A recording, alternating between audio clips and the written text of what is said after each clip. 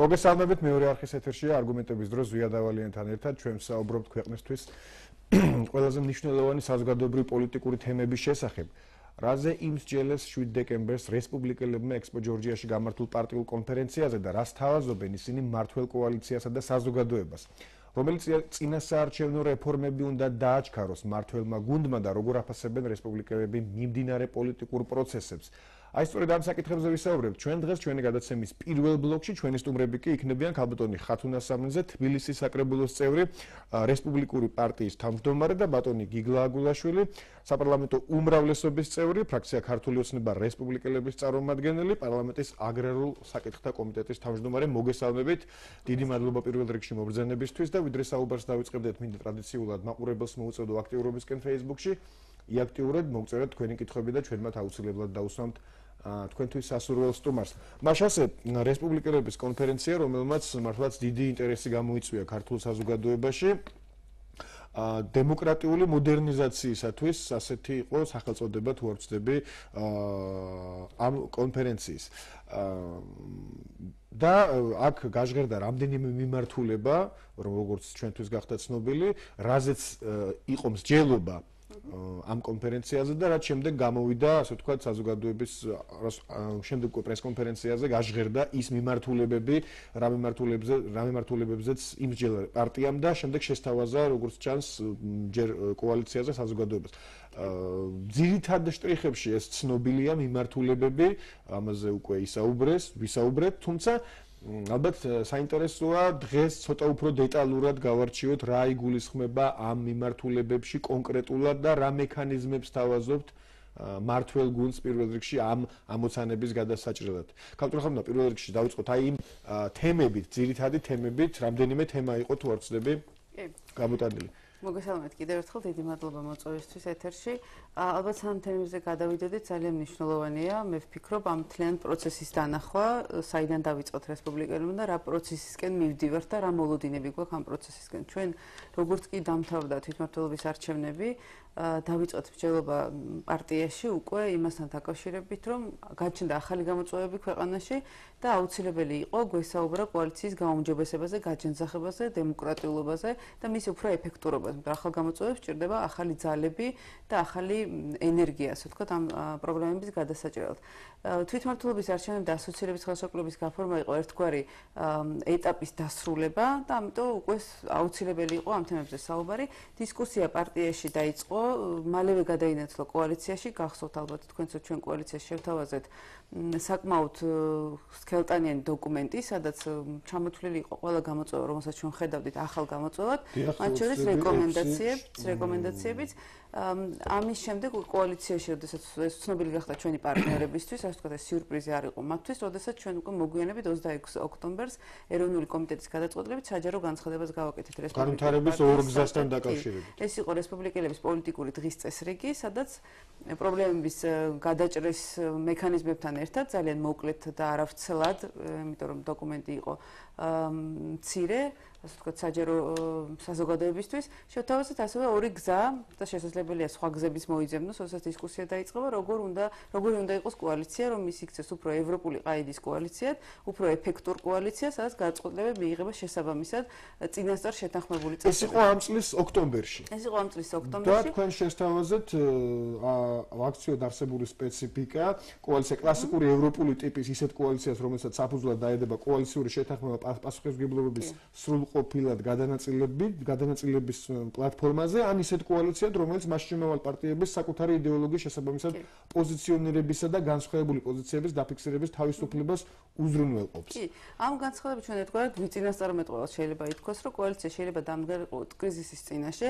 ეს ჩვეულებრივი პროცესია ევროპაშიც კოალიციებს ყოველთვის აქვს რაღაც კრიზისული მომენტები, რომელიც უნდა გადაილახოს და როგორც წესი, კოალიცია ევროპულ კოალიციებს აქვს შეთანხმება და შეთანხმების ერთ-ერთი ნაწილია კრიზისების მართვის წესი კოალიციის შიგნით. ეს ეს მიმართვა იყო ერთგვარად კრიზისის პრევენციის კრიზისის პრევენციის პროგრამა. განცდა ჩვენი მხრიდან იყო ანალიზის საფუძველზე. ჩვენ დავინახოთ რომ შესაძლებელია გამختارიყო დამდგარიყო კოალიცია კრიზისის წინაშე. ჩვენ არანაირი ინფორმაცია მომენტისთვის არ გქონდა ზრდის იქნებოდა რა ტიპის კრიზისი იქნებოდა.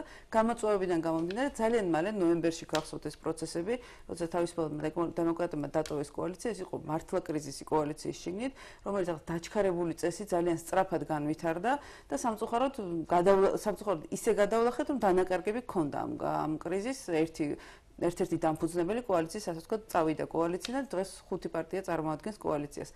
ამის შემდეგ რა თქმა უნდა გაგრძელდა მსჯელობა პარტიის შიგნით, გაგრძელდა გაგრძელდა მსჯელობა კოალიციაში, შევთანხმდით კოალიციური პარტნიორები რა სწორედ ამ დოკუმენტზე, რომელიც ჩვენ შევთავაზეთ მათ ოქტომბრის დასაწყისში, შევიკრებებოდით და დავიწყებდით მსჯელობას. ანუ ამ ორ გზასთან დაკავშირებით? ამ ორ გზასთან დაკავშირებით კი, ან სხვა გზებთან თუ შემოთავაზება ექნებოდა პარტნიორებს და ამ პერიოდში სანამ ეს ჯერ არ შემდგარა, ამ ამ ესეთი შეხვედრა, ასე ვთქვათ, არ ყოფილა პარტნიორებთან, მე იმედი მაქვს რომ მალე შედგება, შევთანხმდით რა უცებად ვისაუბრებთ ამაზე, მაგრამ ამ პერიოდში პერიოდში უკვე ჩვენ გავაგრძელებთ ეს პროცესი, რა თქმა უნდა, პარტია ცოცხალი ორგანიზმია, ჩვენ ორიენტირებული ვართ ყოველთვის პროგრეს, ყოველთვის პროგრესზე, დემოკრატიაზე, განვითარებაზე და ამას ყოველთვის ჭირდება ანალიზი, რომ განვითარდეს ასე თქვა პროცესები.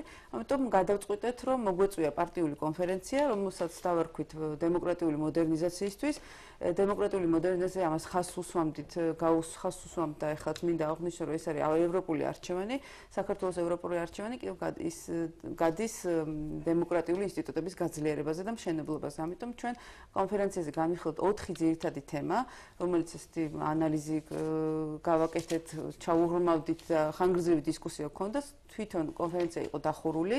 ეს საინტერესო მომენტია, შეხოთაშორის ამასთან დაკავშირებითაც გაჩნდა კითხვები, რატომ იყო დახურული, როცა ჩვენ გვაქვს ღია პარტიული კონფერენციების მაგალითებიც. კი, ეს პარტიის გადასაწყვეტი მართალი გითხრათ იმ პროცესებმა ჩვენ საჯარო განცხადების შემდეგ და განვითარებული პროცესების შემდეგ, აი ეს როცა თავისუფალი დემოკრატები წავიდნენ, ბევრი კითხვა გაჩნდა, სამართლიანად მოსალოდნელი იყო, როგორც საზოგადოებაში, ასევე ჩვენს ხარდამჭერებსა და პარტიის წევრებშიც კი რა იყო მოსალოდნელი პარტიისგან. როგორც წესი, პარტია ესე არც ერთპიროვნულად იღებს გადაწყვეტილებას და არც კონფერენციით, კონფერენცია არ არის ის ადგილი, სადაც გადაწყვეტილებები მიიღება პარტიის შიგნით, პარტიულ გადაწყვეტილებას, პარტიულ ხას როგორ მოიქცეს პარტია ამის ეროვნული კომიტეტი წყვეტს რომელიც იკრიბება ორ თვეში ერთხელ რიგარეშეც. ჩვენი გადაწყვეტილება ჩვენ როგორც პარტია მივიღეთ 2011-ში როდესაც გავხდით ერთ-ერთი დამფუძნებელი კოალიციის ამის შემდეგ არასდროს პარტიის შიგნით შეკითხვის ნიშანი გადახედვის ამ გადაწყვეტილებას ან რაღაც ახალი გადაწყვეტილების თაობაზე არ დამდგარა პარტიაში. არასდროს კითხები გაჩნდა საზოგადოებაში მისმის ალბათ საფუძველი რაღაც ტიპის არსებობდა მაგრამ მალევე გაქარწყლა იმედი მაქვს მე ჩემი დაკვირვებით აღარ აღარ არის დღეს ეს კითხვა აღარ დგას ვჩებით თუ არა კოალიციაში ეს არც ყოფილა პარტიის შიგნით. მაგრამ კონფერენცია თავად იმისათვის რომ უზრუნველყო პარტიის შიგნით კონფერენციის განმავლობაში ღია დისკუსია, სადაც ყველა თემაზე ვისაუბრებდით და ღია იქნებოდა ასე ვთქვათ პარტიის წევრებისთვის აზრის გამოთქვის საშუალება, ამიტომ გადავწყვიტეთ კონფერენცია ყოფილიყო დახურული და მხოლოდ მისის დასკვნითი ნაწილი უკვე გაგვეხო, გაგვეხსნა მედიისთვის და გვესაუბრა იმ ყველა მომხსენებელს ექნება საშუალება თავისი მოხსენების და დისკუსიის დროს მიღებული მოსაზრებების საფუძველზე გაეკეთებინა შეჯამება, ასე ვთქვათ, იმ მიმართულებების რა მიმართულებებზეც ჩამოაყალიბა პარტიამ პოზიცია. კი, და ოთხი მიმართულება იყო. ხო, ანუ ამ ოთხ მიმართულებაზე გადავიდეთ, ალბათ განსაკუთრებით საინტერესოა. ოთხი მიმართულება იყო პოლიტიკური დღის წესრიგი, რომელიც რომელიც რომელზეც ისაუბრა დავით უსუფაშვილმა. აქ იყო საუბარი ქვეყნის პოლიტიკურ დღესდღეზე, კოალიციის პოლიტიკურ დღესდღეზე და პარტიის პოლიტიკურ დღესდღეზე თანმიმდევრობის მიხედვით უბრალოდ ესე ახსნა. ბატონო დავითმა ეს იყო ყველა ამ დღის წესრიგის ასე ვთქვათ მნიშვნელობა ერთმანეთისთვის, ანუ ქვეყნის დღის წესრიგი როგორ მოქმედებს და როგორ მნიშვნელოვანია კოალიციის დღის წესრიგისთვის და შესაბამისად პარტიას როგორი დღის წესრიგი აქვს კოალიციის გასამართებად და ქვეყანაში არსებული გამოწვევების გადასაჭრელად. ღიად ვისაუბრეთ ამ მიმართულებით, რა იყო მთავარი გამოწვევები. გახსოვთ ალბათ შემაჯამებელ განცხადებაში ძლიერი მოქალაქე იყო ერთ-ერთი მნიშვნელოვანი მესიჯი, რომ პარჩენების ბედს უნდა წყვეტდნენ ძლიერი მოქალაქეები. ამაში კიდევ პარტიებს ძალიან დიდი როლი აქვს, როგორ როგორ გახდეს მოქალაქე ძლიერი და როგორ კონდეს მის ხმას და მის გადაწყვეტილებას გავლენა პოლიტიკურ პროცესებზე. მეორე თემა, რომელზეც ჩვენ შევჩერდით, იყო კონსტიტუციური რეფორმა.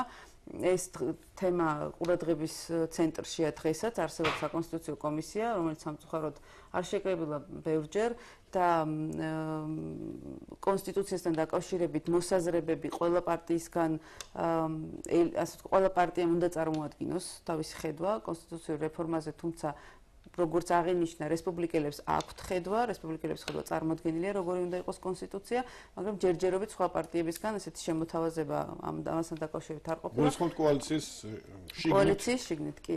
აა საკონსტიტუციო კომისიაში არასაპარლამენტო ოპოზიციაც არის, ასევე გარდა ასევე უმცირესობაც არის, ასევე ყველა მხრიდან. ველოდებით ხო, თუმცა კოალიციის თვალსაზრისით ჯერ არ ყოფილა.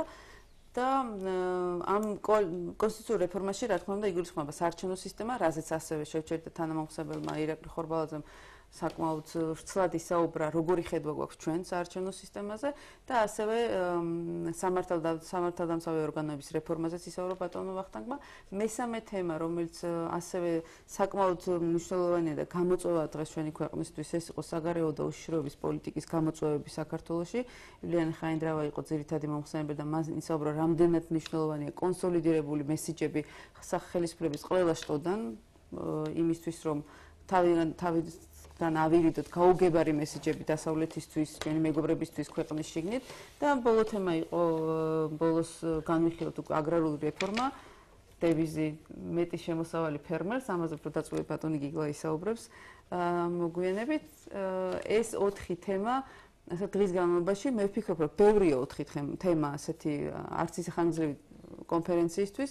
ჩვენ გეგმავთ რომ უფრო აქტიურები გავხდეთ. სამომავლოდ ხშირად შევიკრიბოთ და ვისაუბროთ ეს კონკრეტულ თემებზე. უფრო ხმად უფრო მეტი დრო დაუთვოთ და ოთხი თემა კი არა ორი თემა განვიხილოთ მაგრამ თითო კონფერენცია კონფერენციაზე სადაც ექსპერტების მოწვევის საშუალებაც გვექნება სხვის სხვა მოსაზრებებსაც მოусმენთ და ეს არის ერთგვარი საშუალება პარტიამ ასე ვთქვათ, გამოკვეთოს თავისი ხედვები ამა თუ იმ საკითხს. ეს არ არის გადაწყვეტილების მიღებისთვის ორგანიზებული კონფერენცია, ეს არის პარტიის წევრებისგან მოსაზრებების და ხედვების წარდგენისთვის, საუბარ კოალიციისთვის. ამისთვის მაგრამ თავარი გზავნილი დავასრულებ ამით. ამ კონფერენციაზე იყო ის, რომ ჩვენ მზად ვართ ჩვენი თანამშრომლობით ამ თანამშრომლობის რეჟიმში, როგორც ვართ დღეს კოალიციის შიგნით, ვისაუბროთ ორიენტირებული ვიყოთ სამომავლოდ კოალიციურ შეთანხმებაზე. იმიტომ არავით არც ერთი ეს რეფორმა, დაჩქარებული რეფორმები ტემპების ანუ კოალიციურ შეთანხმებაში რას გულისხმობთ? კოალიციურ შეთანხმებაზე ამ საკითხების ირგვლივ თუ ზოგადად კოალიციურ შეთანხმებაზე? რა ტიპის კოალიცია იქნება ქართული ოცნება? ეს იყო მთავარი გზავნილი, ერთ-ერთი მთავარი გზავნილი, რასაც ასევე ბატონო დავით უსფაშულმა ისაუბრა. ნებისმიერი გამოწვევა რაც შეიძლება ისიქეს ქვეყნის წინაშე. აი ეს თემები იქნება სხვა თემები ყველაფერს რა თქმა უნდა არ გვისაუბრებ უამრავი უამრავი სხვა თემაა მნიშვნელოვანი ქვეყნისთვის ყველაფერ ამას ჭირდება ეფექტური მართვა, ეფექტური ანუ მოდი დავაზუსტოთ ეფექტური პოლიტიკური მენეჯმენტი. ძალიან საინტერესო მომენტია, როცა საუბარია კოალიციურ შეთანხმებაზე, აქ ბუნებრივად ჩნდება კითხვა, დღეს არ არსებობს ასეთი შეთანხმება? დღეს შეთანხმება კოალიციას არ აქვს, აი მე როცა საუბარობ. ანუ 2012 წელს როდესაც კოალიცია მიიღო მანიფესტი მიიღო, სადაც ძირითად გზავნილებზეც შეთანხმდა, ძირითად ფუნდამენტურ საკითხებზე შეთანხმდა კოალიცია. ანუ დღეს დღეს თქვენ მეგაჩნიათ რომ ეს შეთანხმება ამ შეთანხმებამ ძალა დაკარგა თუ საჭიროა უფრო მეტი კონკრეტიზაცია. ეს შეთანხმება ძალაშია, ეს არის ფუნდამენტი, რაზეც დგას დღეს ხუთი პარტია, უკვე ხუთი პარტია ერთად, რისგაც განაპირობებს მათ ერთობას, მაგრამ უკვე შესამუშავებელია ანუ კონკრეტული გეგმები უფრო კი ეს ორიენტირებული იყო. წინა საარჩევნოდ შეიკრება კოალიცია, იმიტომ ვეძახები ამ კოალიციას ჩვენს კოალიციას სპეციფიურ კოალიციას შეიკრება არჩევნების წინ. არ ყოფილა კონკრეტული შეთანხმება, იყო ორიენტირებული იმაზე, რომ შეცვლილი იყო წინა რეჟიმი, ანუ ქვეყნის სიყვარულით, ქვეყნის ზრუნვით ანუ როგორც ხშირად ექსპერტებიც უსვამენ ხარს ეს კოალიცია მაშინ როცა ჩამოყალიბდა იყო არა არა ასე ვთქვათ პროაქტიული კოალიცია არამედ იყო უფრო გაერთიანებული არადემოკრატიული რეჟიმის დემონტაჟისთვის და შესაბამისად მას არ ქონდა რაღაც კონკრეტული შეთანხმებები იმის შესახებ თუ როგორ უნდა განევითარებინა შემდეგ მას ქვეყანა. მათ მანიფესტში თუ დეკლარაციაში სადამბულზებო დეკლარაციაში წერია ზოგადად და კონკრეტულადაც წერია საკითხები. აი თუნდაც სამართალ კი 12 პუნქტია სადაც თუნდაც სამართალ მოსავე ორგანოები, რის რეფორმაზეც უკვე საპარლამენტო ტრიბუნიდან ლაპარაკობდა პარლამენტის თავმჯდომარე, ეს იმ სადამბრძოლო დეკლარაციაში წერია და სხვა რიგი საკითხები, იგივე ჩვენი ინტეგრაციის და ევროატლანტიკური გზა, ამაზე საუბარია. მაგრამ შეთანხმებაზე საუბარია სხვა ტიპის შეთანხმებებს, მაგალითად ელემენტარულ რაზეც საუბრობთ, კრიზისების მართვის წესი კოალიციაში, ხმების ხმის მიცემის წესი კოალიციაში, როგორ უნდა გადანაწილდეს პასუხისმგებლობა, როგორ უნდა განაწილდეს მართვის მართვის მექანიზმი. მენეჯმენტი რომ გახდეს კოალიცია უფრო ეფექტური და ამა თუ იმ გამოწვევის დროს მას კონდეს კონკრეტული პასუხი, მზა პასუხი, მზა მექანიზმი, როგორ უნდა გადაიჭრა გასაგებია მე ბატონ დიახ მე აუცილებლად დაგიბრუნდებით პოლიტიკური პოლიტიკური საკითხებით. მაგრამ მინდა ბატონი გიგლა ჩართო ჩვენ საუბარში. ბატონ გიგლა პირველ რიგში მაინტერესებს აგრარული რეფორმა ბუნებრივია როგორც აგრარულ საქმეთა კომიტეტის თავმჯდომარესთან მექნება ეს კითხვა. თუმცა ასევე ძალიან მაინტერესებს თქვენი ხედვა ზოგადად ამ კონფერენციასთან და ამ ოთხ საკითხთან დაკავშირებით გამოიკვეთა აგრარული რეფორმის თემა ერთ-ერთ საკითხად. ალბათ ალბათ დღის წესრიგი კონსტიტუციური რეფორმა და საგარეო გამოწვევები მეტნაკლებად აქტუალური საკითხებია მუდმივად საქართველოში ყოველ შემთხვევაში ბოლო 2 წლის განმავლობაში. თუმცა აგრარული რეფორმა ცოტა ასე ვთქვათ ცოტა არ იყოს ზოგი ერთი ექსპერტისთვის რამდენადმე ასე ვთქვათ უცნაური გამოჩნდა რატომ ასეთი ყურადღება აგრარულ საკითხს. ამიტომ საინტერესოა თქვენი მოსაზრება რატომ ამ ხელა ყურადღება რა იგულისხმება ამ რეფორმაში და რა მექანიზმებს თავაზობთ მართლ გუნდს ამ რეფორმის გასატარებლად. კი ბატონო მოგახსენებთ მაგრამ მანამდე ორიოდ ფრაზას ზოგად კონტექსტთან დაკავშირებით რომ ეს კონფერენცია ეს 7 დეკემბერს რო გამართა და მომავალში რომელიც ასევე გამართება ჩვენთვის არის ძალიან კარგი საშუალება ახალი რესურსების აღმოჩენისა, გამოვლენისა, მოსმენისა, ახალი ადამიანების, ახალი ლიდერების გამოვლენისა. და ის რაც ხათუნამ ბძანა რომ ჩვენ ვაპირებთ რომ ფორმატი გავაფართოვოთ და ექსპერტები ჩავრთოთ და უშუალოდ საზოგადოებრივი აზრის შემქმნელ ადამიანებს მოვუსმინოთ და ჩვენი აზრიც მოვასმენინოთ და მათთან ერთად გქონდეს ეს აქტიური კომუნიკაცია ეს კიდევ ერთხელ ნიშნავს რომ ჩვენ მზად ვართ ფართო კომუნიკაცია გქონდეს საზოგადოების ყველა ფენასთან ინტერესის სფეროების მიხედვით. მომავალში ეს თემები შეიძლება იქნება შეიძლება ჯანდაცვაზე განათლებაზე урბანულ პრობლემებზე და ასე შემდეგ და ასე შემდეგ ასე რომ ჩვენ გეგმავთ, ვაპირებთ, ვიყოთ აქტიური და გავაღოთ კარი ახალი სახეებისათვის, ახალი ლიდერებისათვის. ამ კონფერენციაზე ორმა ახალგაზრდამ წარმოადგინა ბატონ იულიარის ხაინდრავას თანამოხსენებლები იყვნენ ისინი. საკმაოდ საინტერესო, ძალიან მნიშვნელოვან თემატიკაზე, ისლამური სახელმწიფოსგან მომავალ საფრთხეებზე, ერთის ხრივ და მეორეს ხრივ, ეგრეთ წოდებული რუსული რბილი ძალის, რბილი აგრესიის ფორმებზე მოხსენებები, მე აღთოვანებული ვიყავი ამ ადამიანების უნარებით და ვფიქრობ, რომ ეს პროცესი გაგრძელდება და მე ამას მივესალმები, რადგან ვფიქრობ, რომ ჩვენი აქცენტები პროგრესზე, მოდერნიზაციაზე, მომავალზე ზუსტად ამ ვექტორზე გადის, რომ ახალი ადამიანები უნდა შევევიდნენ პოლიტიკაში და მოხარული ვარ, რომ ახალგაზრდა ასეთი ახალგაზრდა რესურსები გამოჩნდნენ. რაც შეეხება კონკრეტულ კითხვას სოფლის მეურნეობასთან დაკავშირებით, ჩვენ ვფიქრობთ, რომ 2012 წლის შემდეგ ძირითადად სწორი მიმართულებით ვითარდება. ამაზე ამ სტუდიაშიც არაერთხელ ვილაპარაკია ჩვენ, მაგრამ გაგვაჩნია ცალკეული შეიძლება ითქვას ხედვები გარკვეული პროცესების ტემპებთან, შინაარსთან დაკავშირებით, რომელთან რომელიც მიგვაჩნია რომ უფრო სწორად წარმართავდა პროცესებს. ამ შემთხვევაში ივარაუდება ის, რომ ჩვენთვის არ არის იდეა ფიქსი სოფლის მეურნეობის განვითარება, რადგან ამას ხედავთ სოფლისა და სოფლის მეურნეობის განვითარების კონტექსში, იმ კონტექსში, რომ სოფელსა და ქალაქად მცხოვრების ცხოვრების დონეში არსებული უფსკრული ამოივსოს, იმის ხარჯზე რომ ქალაქად მცხოვრების ცხოვრების დონე კი არ დაიწიოს, არა, ქალაქად ცხოვრების გაიზარდოს, მაგრამ სოფლად ცხოვრები ადამიანების ცხოვრების დონე წამოეწიოს და მათთვის ხელმისაწვდომი გახდეს იმ ტიპის სერვისები, რომელსაც ქალაქად ვიღებთ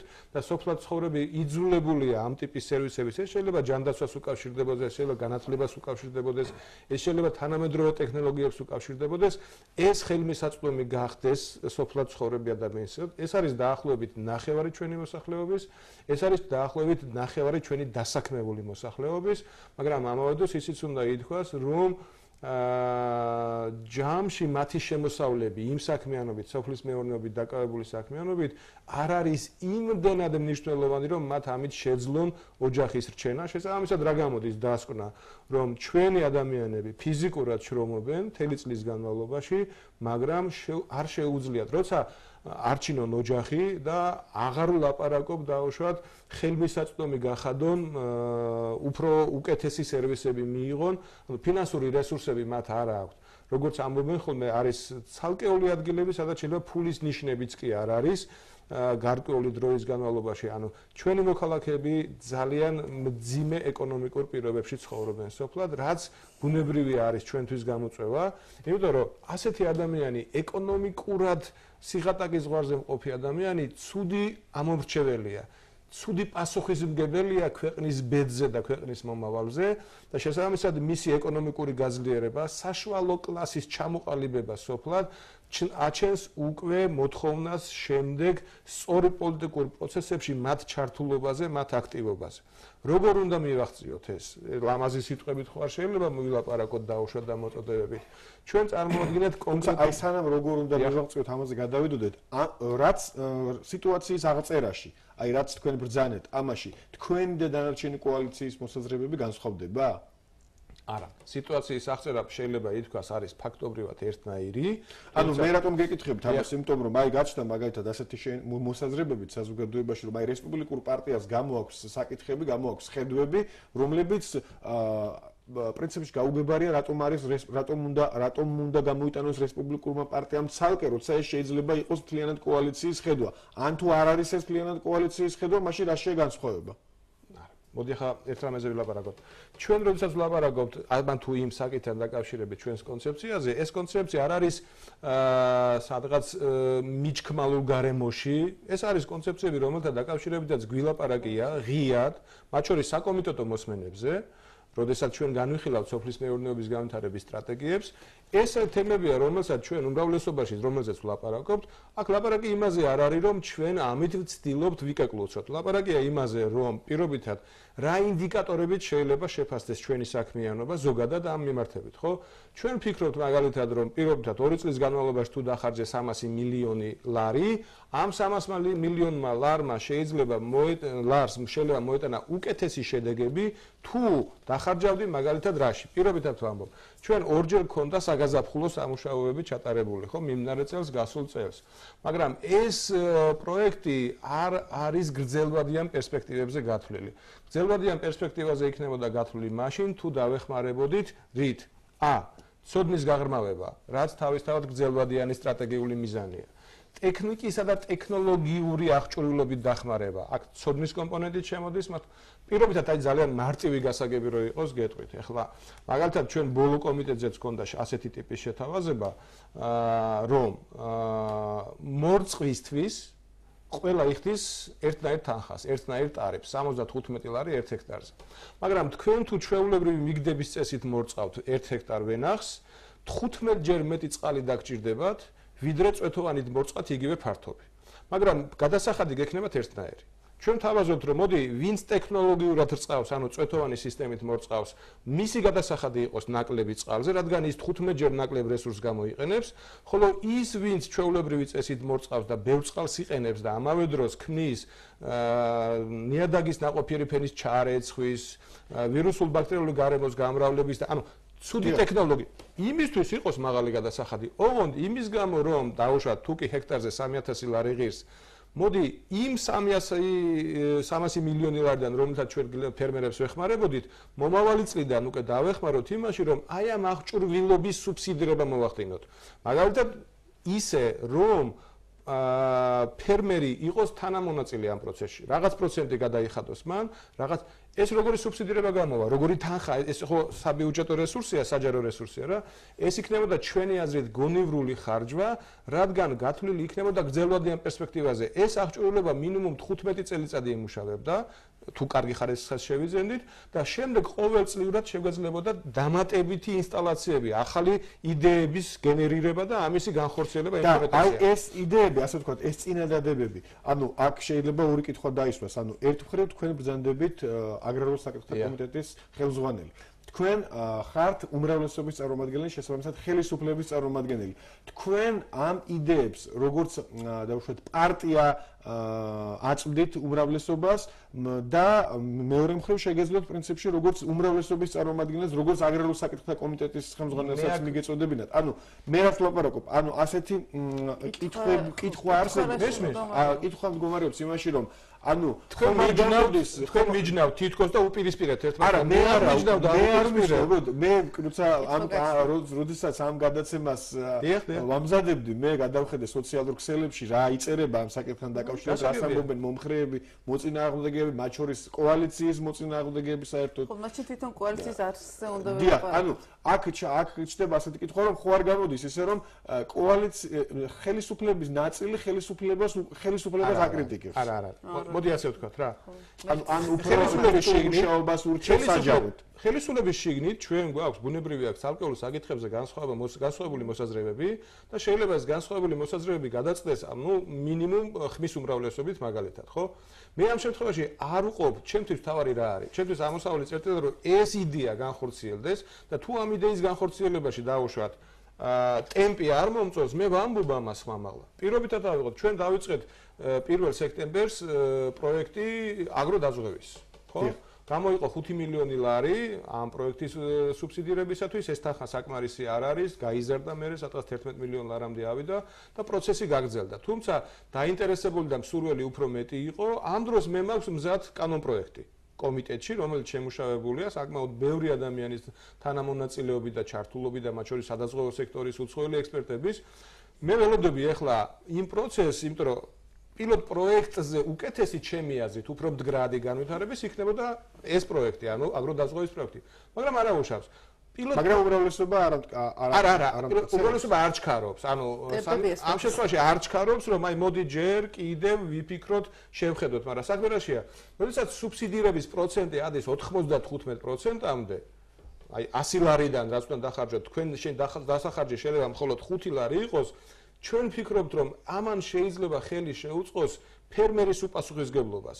მისი თანამონაწილეობა ისეთივე მნიშვნელოვანი უნდა იყოს და ამ შემთხვევაში შეიძლება 70-30%-ზე ყოფილიყო უკეთესი სუბსიდირება და ასეთ შემთხვევაში ჩვენ შეგვეძლებოდა უფრო ბევრი ადამიანისთვის მიგვეწოდებინა ეს სერვისი. მაგრამ დღეს იმის გამო რომ მაღალია სუბსიდირების პროცენტი შედარებით ნაკლებოდენობას მივაწოდეთ. ეს არის როგორ ტიპის დეტალებში, საქმიან დეტალებში საუბარი, რომელიც ჯამში, რა თქმა უნდა, გავლენას ახდენს, მაგრამ კიდევ ერთხელ ვიმეორებ, ჩვენ არ განგვიცხადებია და არ ვამბობთ, რომ განყენებულად განვიხილავთ ამას. არც იმას ვამბობთ, რომ ეს კონფერენციაზე ვილაპარაკეთ და სხვაგან არ გვითქვამს. ეს არის ჩემი ჩემთვის ჩვეულებრივი სამუშაო პროცესი, იმიტომ რომ ეს მიზანი მისაღწევია დღეს თუ ხვალ, ადრე თუ გვიან. განათლებასთან დაკავშირებით, აი ახლა ვიცი რომ სოფლის მეურნეობის სამინისტრო აპირებს კონკრეტული პროექტის განხორციელებას. ადრეც მგონი თქვენთან ეთერში მაქვს ნათქვამი, მოძრავი საკონსულტაციო ცენტრებს. ერთი ავტომანქანა ჯდება 100000 ლარი თავისი აღჭურვილობით და მე სპეციალისტები არიან ადამიანები საჭირო. მე როგორც ვიცი, ორი მანქანა იგეგმება ორი მანქანის შეძენა, მე მივესალმებოდი 10 მანქანის შეძენას. იმიტომ რომ 1 მილიონი ლარის დახარჯვა ამ თვალსაზრისით, მაშინ როცა 300 მილიონი გაქვს დახარჯული ორი წლის განმავლობაში, ეს არის ზღვაში წვეთი, არა და ეს არის ის ამოცანა, რომელიც უპირველეს პრობლემებს გადაჭრიდა, ანუ ცოდნის კომპონენტს და ეს არის იმ ტიპის პრიორიტეტი ჩემთვის. ნომერი პირველი პრიორიტეტი განათლება, რომ ფერმერთან მივიდეს ცოდნა. რახან თვითონ ფერმერი ვერ ახერხებს ცოდნასთან მისვლას და მის მოძიებას, ამისი წვდომა არის ძალიან მწირი. რატომ არ ვამბობ დაუშვათ სიტყვაზე კრიტიკით რაიმეს დაბალ პროცენტიას ესხებზე? არ ვამბობ კი, იმიტომ რომ 691 თითქმის 700 მილიონია და 25000 ბენეფიციერია, მაგრამ ლიზინგის პროგრამას ვაკრიტიკებ, იმიტომ რომ 2 წლის განმავლობაში ორადორი ისიც მიმდინარე წეს ორადორის ცეცხი გაიცა ლიზინგის წესი. გასაგებია. ანუ არის კონკრეტული მომენტები, რადგან არის კრიტიკული. რადგანაც რესპუბლიკურ პარტიას აქვს კრიტიკული შენიშვნები. მე მინდა ქართულ ხალხს ვკითხო, ალბათ აქ განსაკუთრებით საინტერესოა სწორედ ეს გადაწყვეტილების მიღების მექანიზმის პრობლემა, რაზეც რასაც არა მხოლოდ უშუალოდ ქართული კოალიცია, ქართული ცნების წარმომადგენლები, არამედ კიდევ უფრო ხშირად კოალიციის გარეთ მოქალაქეები საუბრობენ, რომ მართლაც არსებობს რაღაც პრობლემა. თქვენი კითხოთ რატო არის რომ კოალიციის შემადგენელი ნაწილი რესპუბლიკური პარტია ცალკე განიხილავს თავის ხედვას და ეს ხედვა უნდა იყოს თუ არა რესპუბლიკელების სახელით წარმოქმნილი ინიცირებული ხო რაღაც რაღაც გაგებით მიანიშნებს კიდე საბოლოოდ ეს არის სწორედ იმ საკითხის ნაწილი რაზეც საუბრობთ როცა საუბარი გვაქვს კოალიციურ შეთანხმებაზე. კოალიციური შეთანხმება ნიშნავს ყველა ამ თემაზე წინასწარ მოლაპარაკებას და შეთანხმებას. როცა საუბრობ პირველ მოდელზე როცა იყო ლაპარაკი აი იმ პირველ მოდელზე რომელიც შევთავაზეთ ეს არის კოალიციური შეთანხმება, სადაც სრულად არის გადაინაწილებული ყველა პასუხისმგებლობა, ეს ნიშნავს პორტფოლიოებს, არა მხოლოდ თანამდებობებს, ესე არ უნდა იყოს გაგებული რაღაც თანამდებობების პრობლემა. კვოტები. ეს ყველაფერს ნიშნავს, მათ შორის ხედვების თვალსაზრისით, რომელ პარტიას რა თემებთან დაკავშირებით აქვს წითელი ხაზები. მაგალითად, არის თემა თქვა აგრარული საკითხები ავიღოთ, სადაც რესპუბლიკურ პარტიას აქვს ესეთი ხედვა და თუ ჩვენ ერთად ვართ, მე აქამდე ვაძლევ უფლება ამ ტემპებამდე თანხმდები რომ კი გელოდებით და მივიდივართ, მაგრამ თუ ეს ტემპები ძალიან შენელდა, მე მაქვს მეუფლება თანხმდებით ამაზე, რომ ჩემი ეს საკითხი უკვე საჯაროდაც გავაკრიტიკო და საჯაროდაც ვილაპარაკო, ეს არის წინასწარი მოლაპარაკების საკითხი. ჩვენ სამწუხაროდ არაფერი ესეთი არ გვაქვს წინასწარი მოლაპარაკება, ჩვენ ესე ვთქვათ, თან ვსწავლობთ და თან ვსწავლობთ კოალიციურ თანამშრომლობად, თან ვსწავლობთ როგორი უნდა იყოს კოალიცია, ეს გამოცდილება არავის არ აქვს დღეს. ჩვენ რაც ხშველის ამ პროცესში ის არის რომ არიან კოალიციაში ის პარტიები, ისეთი პოლიტიკოსები, რომელსაც აქვს უდიდესი პოლიტიკური გამოცდილება. არ ჩამოვთვლი, ყველამ ვიცით ვის აქვს გამოცდილება და ვინ არის ასე თქო მთავარი მოთამაშეები ამ კოალიციური თანამშრომლობის. უამრავი პრაქტიკა არსებობს. აი მაგალითად, ერთ კონკრეტულ მაგალითს გეტყვით. ჩვენ ძალიან გვგავს და იმიტომ მაქვს ეს მაგალითი. 2000 წელს საპარლამენტო არჩევნების დროს 99 წელს 6 პარტია ხორვატიაში სწორედ ესე როგორც ჩვენ გაერთიანდა არჩევნებში მონაწილეობის მისაღებად, წინა საარჩევნოდ გაერთიანდა როგორც ჩვენ. ამას ქვია სპეციფიკური კოალიცია, ამიტომ ეძახი რომ ის არ შეი არ გაერთიანდა არჩევნების შემდეგ, როცა ყველა პარტია მის თავისი წონა, ასე ვთქვათ, არჩევნების შემდეგ და იმის მიხედვით ნაწილდება პასუხისგებლობები და უფლებამოსილებები. მაგრამ აქამდე არავინ არ იცის თავის წონა, ზუსტად როგორც ჩვენ.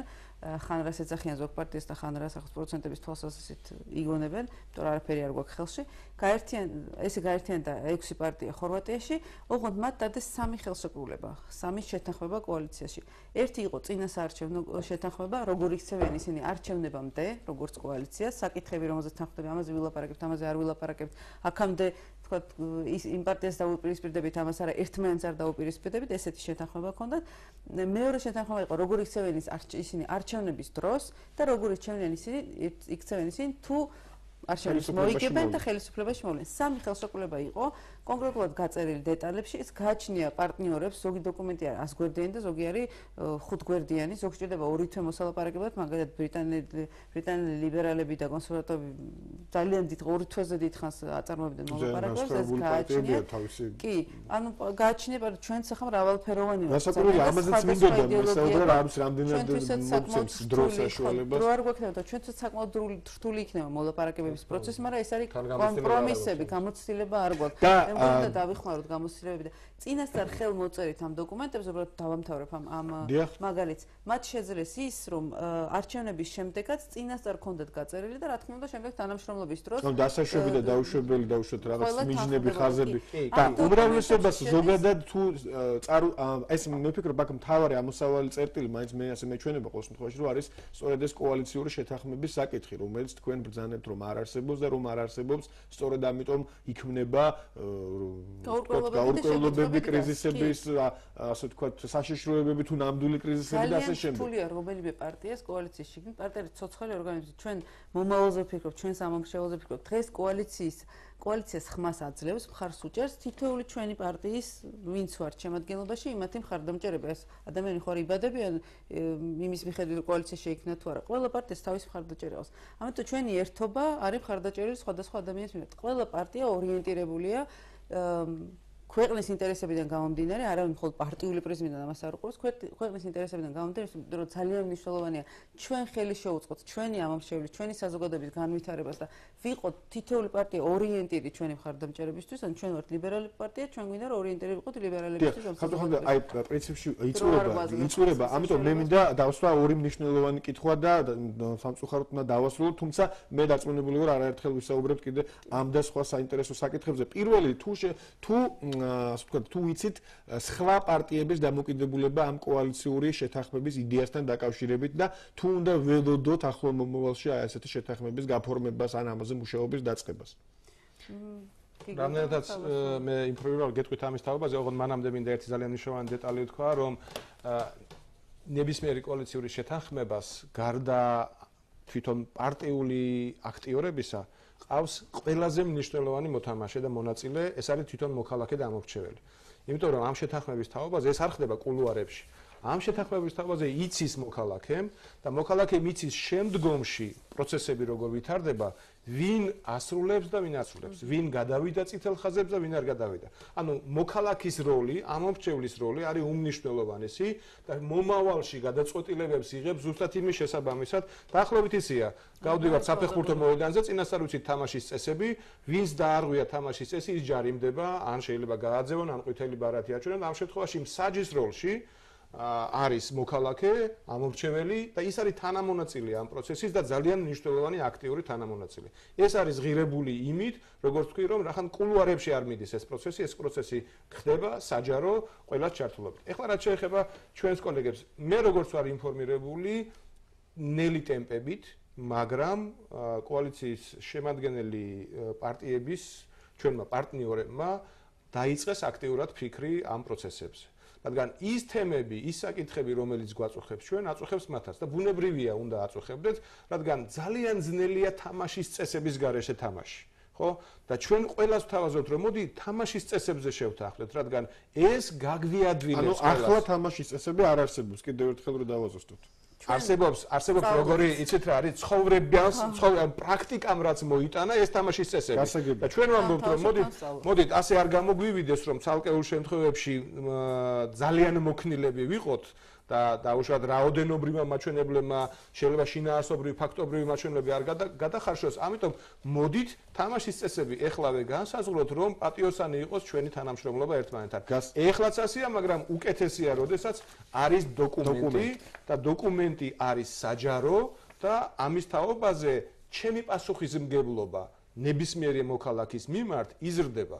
ჩვენ გვინდა ჩვენ მზად ვართ რომ ეს პასუხისგებლობა იყოს მაღალი ამიტომ როდესაც მაგალითად ერთ-ერთ რეფორმაზე შინაგან საქმეთა სამინისტროს რეფორმაზე დაიწყო ლაპარაკი რესპუბლიკური პარტიის წარმომადგენელმა ვახტანგ ხმალაძემ საპარლამენტო ტრიბუნიდან ჩვენ ვამბობთ რომ ეს ჩვენ ნათქვამი გვაქვს ეს ჩვენი წინასაარჩევნო დაპირებაა ჩვენ არ ვამბობთ ხვალ ან დილით რო გათენდება ეს რეფორმა. დაიწყოთ მაგრამ მოდი დავიწყოთ დიალოგი ამაზე. გასაგებია. აი მე ბოლო კითხვა უნდა დავსვათ და უნდა დავასრულოთ სამწუხაროდ. ქართულხატნა ასეთი მოსაზრებაც გაჩნდა ასე ვთქვათ ზოგადად კოალიციის ან შეიძლება უშუალოდ რესპუბლიკური პარტიის მიმართ აა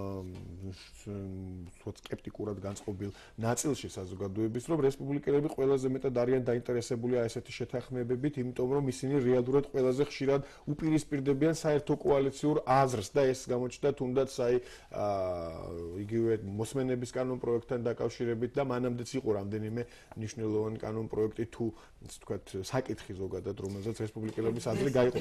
აქ რესპუბლიკელების და დანარჩენი კოალიციის. ამ შემთხვევაში ალბათ ბუნებრივია საზოგადოებას ყველაზე მეტად დაინტერესებს კითხვა, რამდენად მყარია კოალიცი კოალიციაში რესპუბლიკელების კოალიციისადმი, მოდი პირდაპირ რომ დავსვათ საკითხი როგორც ხალხი მოსახლეობა. დიახ, რამდენად მყარია რესპუბლიკური პარტიის ერთგულება კოალიციისადმი, კოალიციის იდეისადმი ზოგადად და რამდენად უნდა ველოდოთ ან არ ველოდოთ იმას რომ ასე ვთქვათ რესპუბლიკური პარტია განუდგეს კოალიცია. დიახ. აი მოგეხმარეთ. ეს კითხები ხო დიდი ხანია ისმის მე თადანას თქვი და ერთის მხრივ მოსალოდნელიც იყო რომ ესეთი კითხები გაჩნდა, თუმცა საფუძველს მე პირადად ამაში ვერ ხედავდი და ბევრი ვერც ხედავდა. მაგრამ კითხები გაჩნდა. ამაში ესწორეთ საქმე. ჩვენ კი არ ვუპირისპირდებით კოალიციას, ან განსხვავებული აზრი, იმიტომ კი არ გვაქვს რომ განსხვავებული აზრი გვაქვს ჩვენი პარტნიორებისგან. სწორედ იმიტომ ხდება ეს და უკვირს ჩვენს ამომრჩეველს, ჩვენ საზოგადოებას, რატომ აქვს განსხვავებული აზრი რესპუბლიკურ პარტიას, არ არსებობს შეთანხმება, არ არსებობს პოლიტიკური პოლიტიკის დოკუმენტები კოალიციაში რომელზეც რომლის მიხედვითაც მე შევაფასებ და უშოთ ვინ არის ამ კურსის ერთგული და ვინ განუდგა ამ კურსს? კონკრეტიკაზეც უნდა ვილაპარაკოთ აი ახლა თუ შეთანხმებაზე ვილაპარაკოთ მაგალითად წინასწარ ვილაპარაკოთ შეთანხმებაზე აი გიგლანთ რომ ანგარიშვალდებული ვართ ჩვენ ჩვენს ამორჩეულთან და ჩემ ამორჩეულმა მაგალითად რესპუბლიკური პარტიის ამორჩეულმა ზუსტად იცის წინასწარვე შეთანხმებული ვარ რომ პირადი ცხოვრების თავისუფლება ადამიანის უფლებები პირადი ცხოვრების ხელშეუხლება რაც უკავშირდებოდა მოსმენების კანონს კონკრეტულად ჩემთვის არის წითელი ხაზი და მე წინასწარ ვარ თანხმდები კოალიციაში რომ თუ ამას შეეხება რომელიმე კანონი და ამას გადააბიჯოს მე ამაზე არ გავჩერდები. როდესაც ეს ის წინასწარ ჩემო კოალიციურმა პარტნიორმა, ჩემო ამორჩეველმა ჩემმა მხარდამჭერმა მათთვის გასაგებია რატომ ვარ მე წინააღმდეგი ამა თუ იმ კანონს, თუმცა მე წინასწარ განვაცხადე, რომ ეს საკითხი ზოგადად ადამიანის უფლებები, პირადი თავისუფლება და შეხელშეუხება პირად ცხოვრებას არის ჩემთვის თავარი ერთ-ერთი პრინციპული თემა. მე ამას არ დავთვალ. როგორც კი მე წინასწარი შეთანხმების მერე, ამას ნიშნავს პოლიტიკის დოკუმენტი კოალიციის შიგნით. როგორც კი მე, როდესაც საკითხი დადგება, ამ ხას გადავაბიჯებ, და არ დავიცავ ჩემს შეთანხმებას, რა თქმა უნდა, არავითარი სანქცია ამაზე არ არსებობს, მაგრამ მე პოლიტიკურად ვაგებ ამაზე პასუხს. ჩემი ამომრჩეველი ხდება, რომ მე არ ვარ ერთგული ჩემი პრინციპი. სამწუხაროდ ყოველგვარ ლიმიტს გადავწყვეტ ასე ვთქვათ. ძალიან უნდა კონკრეტული მაგალითები მომეტანე იმასთან დაკავშირებით, რომ ჩვენ ვართ ზუსტად თანამიმდევრული პოლიტიკური ძალა და პასუხისგებლიანი პოლიტიკური ძალა, მაგალითად ადგილობრივი თვითმმართველობის რეფორმის კონტექსტში მე შემიძლია ვთქვა, რომ ჩვენ ვამბობთ, რომ ფინანსური რესურსი ადგილობრივი თვითმმართველობას უნდა ჰქონდეს წინააღმდეგ შემთხვევაში 50%-ით. ამაზე შეთანხმებული ვართ. 50%-იანი ბარიერით არჩეული მერი და საკრებულო ასევე მაღალი რეიტინგით არჩეული. ბატონ გიგლა, მე პირობას გაძლევ, ჩვენ აუცილებლად ვისაუბრებ ძალიან ბევრ ანუ იმაზე, რასაც რასაც რასაც დღეს ასე ვთქვათ, მიმართულებები უწოდეთ, მაგრამ სინამდვილეში უმნიშვნელოვანესი საკითხებია, მაგრამ ამ წუთში სამწუხაროდ ყოველგვარ დროს გადავაჭარბეთ, ამიტომ მინდა კიდევ ერთხელ დიდი მადლობა გადაგიხადოთ მომბრძანებისთვის, საინტერესო საუბრისთვის, არ გადაგდოთ დარჩით მეორე ახსე, რამდენიმე წუთში ჩვენ სახელმწიფო გადაადგილებების თემით ბატონ გიავოლსკის ჩვენთან ერთად დაუბრუნდებით.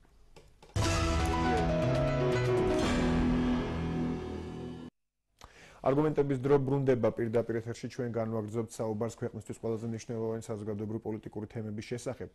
მაშ ასე ქართული ოცნების აღმასრულებელი მდივანი ზვიად ჯანყარაშვილი, შინაგან საქმეთა სამინისტროს გენინსპექციის უფროსი ირაკლი სამყურაშვილი და შინაგან საქმეთა სამინისტროს სახელმწიფო უსაფრთხოების სამსახურის უფროსი მალხაზ ჩიკვილაძე, ინფრასტრუქტურის მინისტრის მოადგილე ზურაბ კოპაძე, ეკონომიკური საბჭოს მდივანი რომან ჩხენკელი, რეგიონებისა და ადგილობრივ თვითმმართველობებთან ურთიერთობის დეპარტამენტის უფროსი აკაკი ჩხენკელი, გურიის გუბერნატორი გიორგი ჩხაიძე ამ ადამიანებმა გასული ერთი კვირის 10 დღის მანძილზე თანამდებობები ნებაყოფლობით საკუთარი განცხადებების საფუძველზე დატოვეს. რა ხდება რეალურად მართლ გუნდში ოპტიმიზაცია თუ კონკრეტული შიდა სახელმწიფო გუნდისა და პირადად პრემიერ-მინისტრის წინააღმდეგ ბრძოლა, რომელიც შესაძლოა პოლიტიკური კრიზისით დასრულდეს. რატომ საუბრობენ ექსპერტები პრემიერის დასუსტებაზე და როგორ აფასებს მოვლენებს საპარლამენტო უმრავლესობა?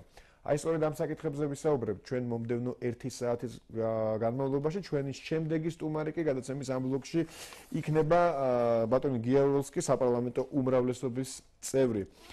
მოგესალმებით ბატონო გია პირველ რიგში უღრმესი მადლობა მობრძანებისთვის. მე ვიდრე საუბარს დავიწყებდეთ მაყურებელს ტრადიციულად მოუწოდებ აქტიურობისკენ Facebook-ში, აქტიურად მოგწერეთ თქვენი კითხვები და ჩვენ მათ აუცილებლად დაუსვამთ ჩვენ სტუმარს. ბატონო გია, პირველი კითხვა ვიდრე ჩვენ ზირთად თემაზე გადავიდოდეთ, მინდა განვაგრძო პირველი ბლოკის თემა, ასე თქვა, ჩვენ საუბარი გქონდა რესპუბლიკური პარტიის კონფერენციაზე, სადაც რესპუბლიკელები გამოვიდნენ რამდენიმე ინიციატივით, მიმართეს კოალიციას და ზოგადად საზოგადოების სამჯეროზე გამოიტანეს რამდენიმე თემა, მათ შორის რომლებშიც მათი და დანარჩენი კოალიციის პოზიციები ბოლომდე ერთმანეთს არ ემთხვევა, როგორც თვითონ აცხადებენ. და თავარი საკითხი კოალიციური შეთანხმების საკითხი. ისინი აცხადებენ, რომ კოალიციაში არ არსებობს რაღაც თამაშის წესები, რომელიც საშუალებას მისცემს პირველ რიგში კოალიციას, რომ მიიღოს გადაწყვეტილებები, გადაწყვეტილებების მიიღების მექანიზმზეა საუბარი.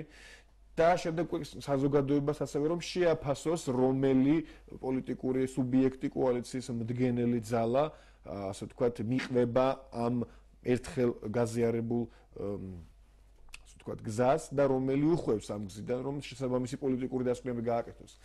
თქვენ როგორ შეაფასეთ პირველ რიგში აი ამ ინიციატივას ეთანხმები თუ არა რომ ასეთ შეთანხმება არ არსებობს, ან არსებობს, ან საჭიროა ან როდის შეიძლება დავშვათ? არა, საინტერესო პირველი ბლოკი ქონდათ. ერთი რამეა ჩვენი მსმენელისთვის აყურებლისთვის საინტერესო ალბათ და მეთანხმება ყველა თქვენს იმეთია. ეცით რა არის როდესაც გარკვეულ თემაზე ესეთი კატეგორიული განცხადებები არსებობს, მე არ ვამბობ ამ წუთში რესპუბლიკელებისგან, საერთოდ ეს საინფორმაციო ველი, რომელშიც ტრიალებს ჩვენი საზოგადოება, ძალიან დახონძლულია ამ სკანდალური თემებით, რომელიც დღეს ერთადერთი პრაქტიკულად საშუალება არის მედია ბაზარზე კონკურენციის. რაც უფრო სკანდალურია, თქვათ გადაცემები, მედია საშუალება, მე თუ უფრო მეტი მაყურებელი ხავს. უკეთესად იყიდება ზოგადად. ხო, სკანდალი უკეთესად იყიდება. აქედან გამომდინარე, ვერაფერ სიახლეს ვერ ხედავ იმაში, რომ თქვათ რომელიმე პარტიას, თუნდაც კოალიციის შიგნით, ან ოჯახის რომელიმე წევრს გარკვეული აზრი კონდეს რემონტის გაკეთებაზე იმ სახში, სადაც ერთად ცხოვრობთ, ჩერეს ერთი. მეორეს ერთი ჩემმა კოლეგებმა არ რომელთანაც ტელევიზიიდან არ უნდა საუბრობდნენ და სხვა სხვა და სხვა უამრავი ფორმატი არსებობს, სადაც ინტენსიური ურთიერთობა გვაქვს. უნდა გაითვალისწინოთ და ჩვენც უნდა გავითვალისწინოთ და საერთოდ ყველა ვინც ამ კოალიციაში მოძრაობს, თავის ისტორია აქვს პოლიტიკური პარტიის განვითარების და ასე შემდეგ. რომ საზოგადოებაში ჩვენი საუბარი საზოგადოებისათვის მხოლოდ ერთად კარგად ვიცნობ გიგლას განსაკუთრებით ერთადერთ მიზანს ემსახურება რომ საზოგადოებას მიაწოდოს სწორი ინფორმაცია რომ ეს სკანდალი არ არის და ეს არის ნორმალური პარტიული ცხოვრების რაღაცა ნაწილი. მიუხედავად იმისა მე გიავალსკი ვეთახმები ამას თუ არ ვეთახმები ყოველ შემთხვევაში ეს თემა შეგნით რო არსებობს საზოგადოება უნდა იცოდეს ამის თაობაზე. ძალიან ჯანსაღია თქვენი გადაცემა პირველ ბლოგზე ვამბობ ამ ხრივ მეორე მხრივ მე შეიძლება რაღაცაზე არ ვეთანხმები, მაგრამ ვითვალისწინებ იმას, მე მე უფრო კარგი ვარ, ასე მინდა ვთქვა. ვითვალისწინებ იმას, რომ საზოგადოებაში ეს სკანდალურ შეფერილობას და კონტურებს იძენს, ასე რომ ძნელი მოსალაპარაკებელი არაფერი არ არის, უბრალოდ რაღაც გარკვეულმა პერიოდმა ჩაიარა ისე, რომ ინტენსიური სხვა თემები იყო წამოწეული. რაღაც საკითხებზე დაუპირისპირდა ჩვენი პოზიცია. განსაკუთრებით აი ამ მოსვენებთან დაკავშირებით. მაგრამ ამან სხვა შედეგი გამოიწვია. საზოგადოების დიდ ნაწილს არ ქონდა სწორი ინფორმაცია. საერთოდ რა მოსმენებზე ვლაპარაკობთ რა გასაღებებია და რა ბოკლომები ამ საკითხში ჩადებული. ასე რომ ისიც იმასაც ნოვიტყვით არ ქონდა თქვათ რესპუბლიკური პარტიის ფრაქციას ერთ მნიშვნელოვნად უარყოფითი დამოკიდებულება. იქ ზოგმა მიცა მოწესაწინააღმდეგო თქმა ზოგმა არ თავშეგავების პოზიცია არჩი. ამ თემაზე კონსულტაციები მიმდინარეობს და კიდე გაგრძელდება. ხა ესე არ არსებობს, რომ თქვა აიღოს ვინაიდან ჩვენი ფრაქცია ყველაზე დიდია და სხვებს უთხრას, რომ აი აუცილებლად ესე უნდა იყოს. ამის პრობლემა არ არსებობს, მე ვფიქრობ, რომ უტრინებულია ეს თემა მთლიანად, მაგრამ მომავალში ჩვენ გვმართებს საერთოდ საზოგადოების ჩვენი ქვეყნის პოლიტიკური განვითარების გზაზე მეტი კონსულტაციები გქონდეს, თუ რამე სადაუა საზოგადოებას მეტი ინფორმაცია მივაწოდოთ და ჯანსაღად დავამთავროთ, გავაგზავნოთ ეს ეს პროცესი. ვინაიდან კიდე ერთხელ ვიმეორებ, საზოგადოებაში ეს აბსოლუტურად სხვა კატეგორიებით აღიქვება საზოგადოებაზე ვლაპარაკობ, რომელიც მიჩვეულია ძირითადად აი ამ სკანდალურ ატმოსფეროში ცხოვრებას. იმიტომ კი არა რომ საზოგადოების მისი ნაწილი თქვენ სახარ და მეც ეს რაღაც სისუსტეს წარმოადგენს. უბრალოდ აი ესე მოვდივართ, აი ამდენი ხანია, ასე რომ დავინახოთ ყველაფერში პრაგმატული, რაციონალური და საკითხებს გააჩნია თორე რატომაც არა სხვადასხვა პოზიციის დაჭერა. საკითხს გააჩნია, როცა საკითხი ეხება რაღაც თემას, რომელიც საზოგადოებისთვის საგანგებო მნიშვნელობის არის. იქ შეიძლება შევთავაზია. რაც შეეხება თქვათ ლიბერალურ დამოკიდებულებას, თქვათ სოფლის მეურნეობის საკითხებისადმი. თქვათ იგივე სახელმწიფო ინვესტიცია. ჩვენ როგორც მემარცხენე ცენტრისტებს ცოტა მეტი უფრო სხვა შეხედულება გვაქვს. ვფიქრობთ, რომ ამ ეტაპზე საზოგადოებას მეტი საშუალება უნდა მიცე ამოისუნთქოს. ეს არ გააზარმაცებს ჩვენ საზოგადოებას. ჩვენ საზოგადოება ძალიან დაიჩაგრა ამ წლების განმავლობაში. ასე რომ სახელმწიფო ბიუჯეტიდან თუ გაიღებს უფრო მეტ თანხას ვიდრე სხვა ნორმალურ სიტუაციაში არ იქნებოდა მიზანშეწონილი მართლაც ვეთანხმები ფიქრობ ამ ეტაპზე ამის ამაზე უარის თქმა არ არის საერთოდ. და აქ თუ არ ვწდები როცა ამაზე იყო დისკუსიები, იყო მოტანილი სხვა ქვეყნების, მეზობელი ქვეყნების მაგალითებიც, მათ შორის ისეთებიც, რომლებსაც სულაც არ მართავენ მემარცხენე ცენტრისტები, მაგრამ სახელმწიფო სუბსიდირებას მაინც ახდენს. აი როგორც ეხლა. როგორც ეხლა ჩვენ რესპუბლიკელებიც გვეთანხმებიან, კონსერვატორებიც გვეთანხმებიან, ბევრ სხვადასხვა საკითხზე. სადაც გამომდინარე აუცილებლობიდან ღებულობთ განაწყვეტილებებს და არა გამომდინარე რომელიმე პარტიის პრინციპებიდან. ხო, ხო, პრინციპებიდან და არა რომელიმე პარტიის თქვათ ჰეგემონიისთან გამომდინარე. ძალიან დაპირისპირების კონტექსტში ალბათ საზოგადოებას ყველაზე მეტად რაც ასე ვთქვათ აშფოთებს, აშფოთებს ალბათ კოალიციის ამომრჩეველს არის ის რომ გასაგებია რასაკვირველია საზოგადოებას ესმის რომ დემოკრატიული კოალიცია და პარტიაც კი არ შეიძლება რომ ერთი ბრძანებით იმართებოდეს, მაგრამ ამ შემთხვევაში მეორე საკითხი დგება რომ თუ პარტია არის რაღაც ერთ ხედვაზე შეთანხმებულ ადამიანთა ერთობა, ან კოალიცია რაღაც საერთო გზაზე შეთანხმებულ ადამიანთა ერთობა, მაშინ როცა აქ ჩნდება დაპირისპირებები, ეს რაღაც გაგებით მეანიშნებს, რომ არ ყოფილა მაშინ ეს გამოდის ერთ ხედვაზე. რო კამაჩი იბადება ჭეშმარიტება, მომდე აი. საჯარო კამაჩი, რა. ამბო, საჯა რატომაც არა? იცოდნენ შეეჩვიონ ჩვენი ამომრჩევლებიც, რომ რაღაც თემაზე გაცილებით მეტი ინფორმაცია ექნებათ. პირველ წყაროდან ვიდრე ის რასაც თქვა დღეს წავიკითხე ესეთი ინფორმაცია. ჩემ შესახებ, სხვების შესახებ, რომ ეხლა სასაცილო არის ხაპრები რაღაც თემები წერია, მაგრამ ფაქტიურად ჯობია უფრო მეტი ilaparaco, უფრო წვავე შეკითხებს გასცე პასუხები საჯაროდ, ვიდრე ამის თაობაზე საშუალება მიცე არაკეთილცინდისიერ ადამიანებს გააკეთონ კომენტარები და განცხადებები. ანუ ეს თემა რომ ამოვწურო თქვენ არ გამურიცხავთ პრინციპში რომ ეს იდეა, ასე ვთქვათ, შეთანხმება, კოალიციური შეთანხმება დადგეს მართლა დღის წესრიგში. ეს არის მოცემულობა, აუცილებელი არ არის რომ ეს მოცემულობა მთელი მაქსიმალური მთელი სიგრძეს იგანით გაითავისოს ყველამ, იმიტომ რომ კოალიციაში სხვა პარტიებიც არის და მათაც აქვს თავის შეხედულებები. ასე რომ თემები არის რაციონალური უნდა იყოს და რაც მთავარია, მთავარი, როგორც აგერ გიგლაბახსერებ. თავარი არის ამოჩევ საზოგადოება. იმ წუთში უნდა გავაანალიზოთ რა ჭირდება საზოგადოებას. ჭირდება მეტი სუბსიდია სოფლის მეურნეობას, უფრო მეტი და სადაზღვეო სისტემას.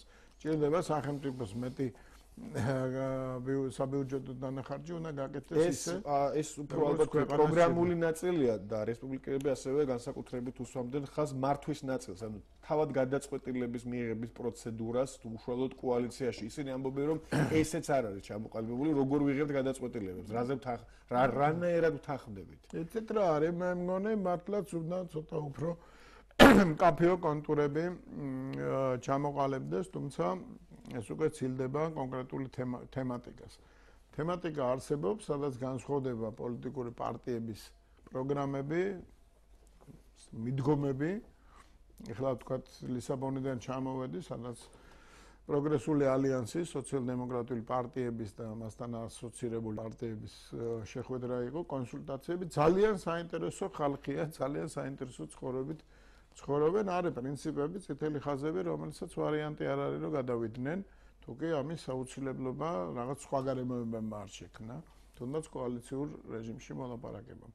ასე რომ ჩვენც ვიზდებით და პოლიტიკურად და ვფიქრობ სამომავლოდ სწორედ ეგრეც უნდა იყოს, როგორც მართვის, ასე გადაწყვეტილებების მიღებასთან დაკავშირებით.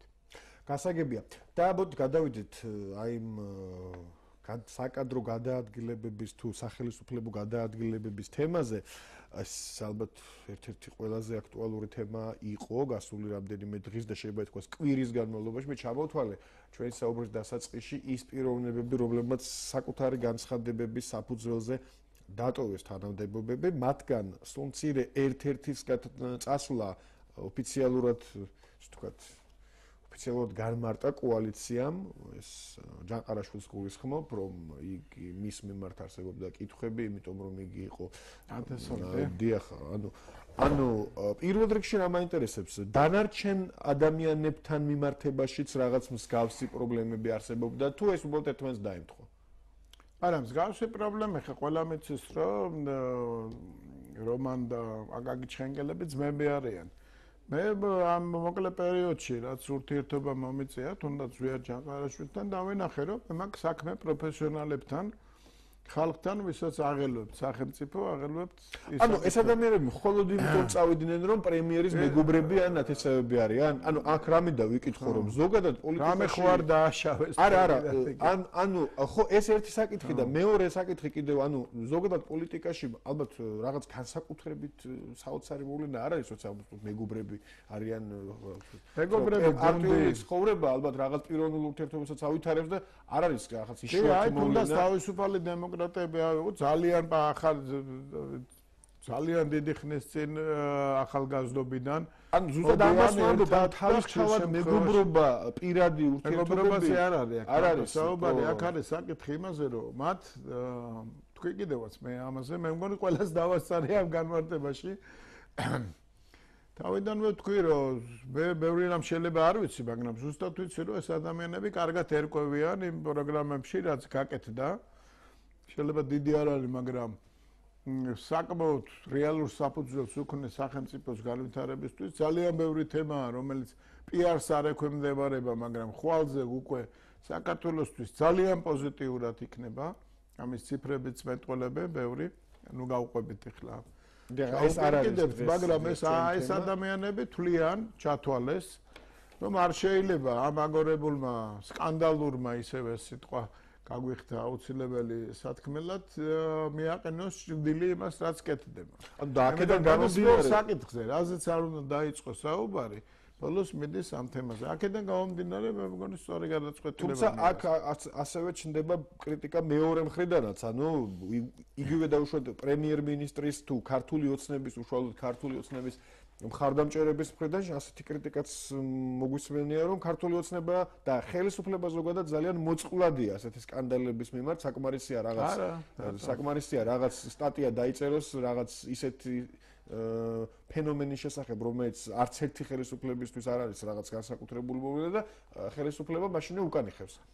აიცით რა არის? არსებობს ახლა ერთი კი ვიღაცამ ესეც დაწერა თქვა თვითონ Facebook-ი არის რამდენი ინფორმაციის მომხმარებლის ძალიან პატარა პროცენტია თუმცა მნიშვნელოვანი ინტელექტუალური შესაძლებლობების მქონე ძალიან ბევრი ხალხი არის ჩართული ყველაფერს ყური უნდა დაუგდო თვალყური ადევნო მაგრამ გადაწყვეტილება მიღებული იყო ისეთი როგორიც იყო მიღებული ეს არის მოცემულობა და მიზეზი იყო ის, რასაც ვამბობ. ეს არის საზოგადოებისთვის მნიშვნელოვანი. და თუ საზოგადოების ერთი ნაწილი ამას დადებითად აღიქვას, მეორე ნაწილი უარყოფითად, ხოლო მესამე ამაში რაღაც კონსპირაციას ხედავს, საზოგადოება იმისთვის არის, ხო, ვერ ვერ შეცვლი იმ აუცილებლობას, რაც მოვიტანეთ და ვფიქრობ, სწორედ დამბეჯე გადავდგით, საზოგადოებას უნდა მიაწოდოს სრული ინფორმაცია და შემდეგ მან გასაჯოს. თავის გადაწყვეტილებას კიდე საარჩევნო პრემიერ-მინისტრმა პრემიერ-მინისტრმა სულ რამდენიმე საათის წინ 6 საათზე იყო საგანგებო ბრიფინგი განმარტა პრინციპში ამ კითხვებს გასცა პასუხი პირველ რიგში როგორ შეაფასებთ პრემიერის პასუხებს? მან ასევე გასცა პასუხი იმ კითხვას რაც ყველაზე მეტად დაინტერესებდა ალბათ ამ წუთში საზოგადოებას დასრულდა თუ არა ეს პროცესი და იგეგმება თუ არა კიდევ რამე მე არ მესმის რა არის? თვითონ ეს შეკითხვაც ისე ძალიან საინტერესოდ იყო დასმული იცით? აა სწორია როდეს ხელისუფლება საერთოდ მედია იმისთვის არის რომ უნდა შეუტიო აკრიტიკო და გამოავლინო ის მაგრამ პროფესიონალურ დონეზე შესრულებული ეს შეტევა არის სხვა მაგრამ ჩასაფრებული შეკითხვებიც არის ხშირ შემთხვევაში ესეც არ არის ცუდი მე მგონი. ყველაფრისთვის მზად უნდა იყოს თუ კი აიღო ვალდებულება იყო ხელისუფლებაში და ხელისუფლებას მედიამ უნდა აკრიტიკოს უნდა აკრიტიკოს. კი რა საკვირველია საზოგადოებას უნდა ემსახუროს პირველ რიგში და საზოგადოებას კონდეს საშუალება ინფორმაციის სწორი ინფორმაციის საფუძველზე მიიღოს საბოლოო გადაწყვეტილება ხელისუფლებას ანუ მე რა კონტექსტში ვსამ კითხოს რომ ანუ გაქვს ასეთი ექსპერტების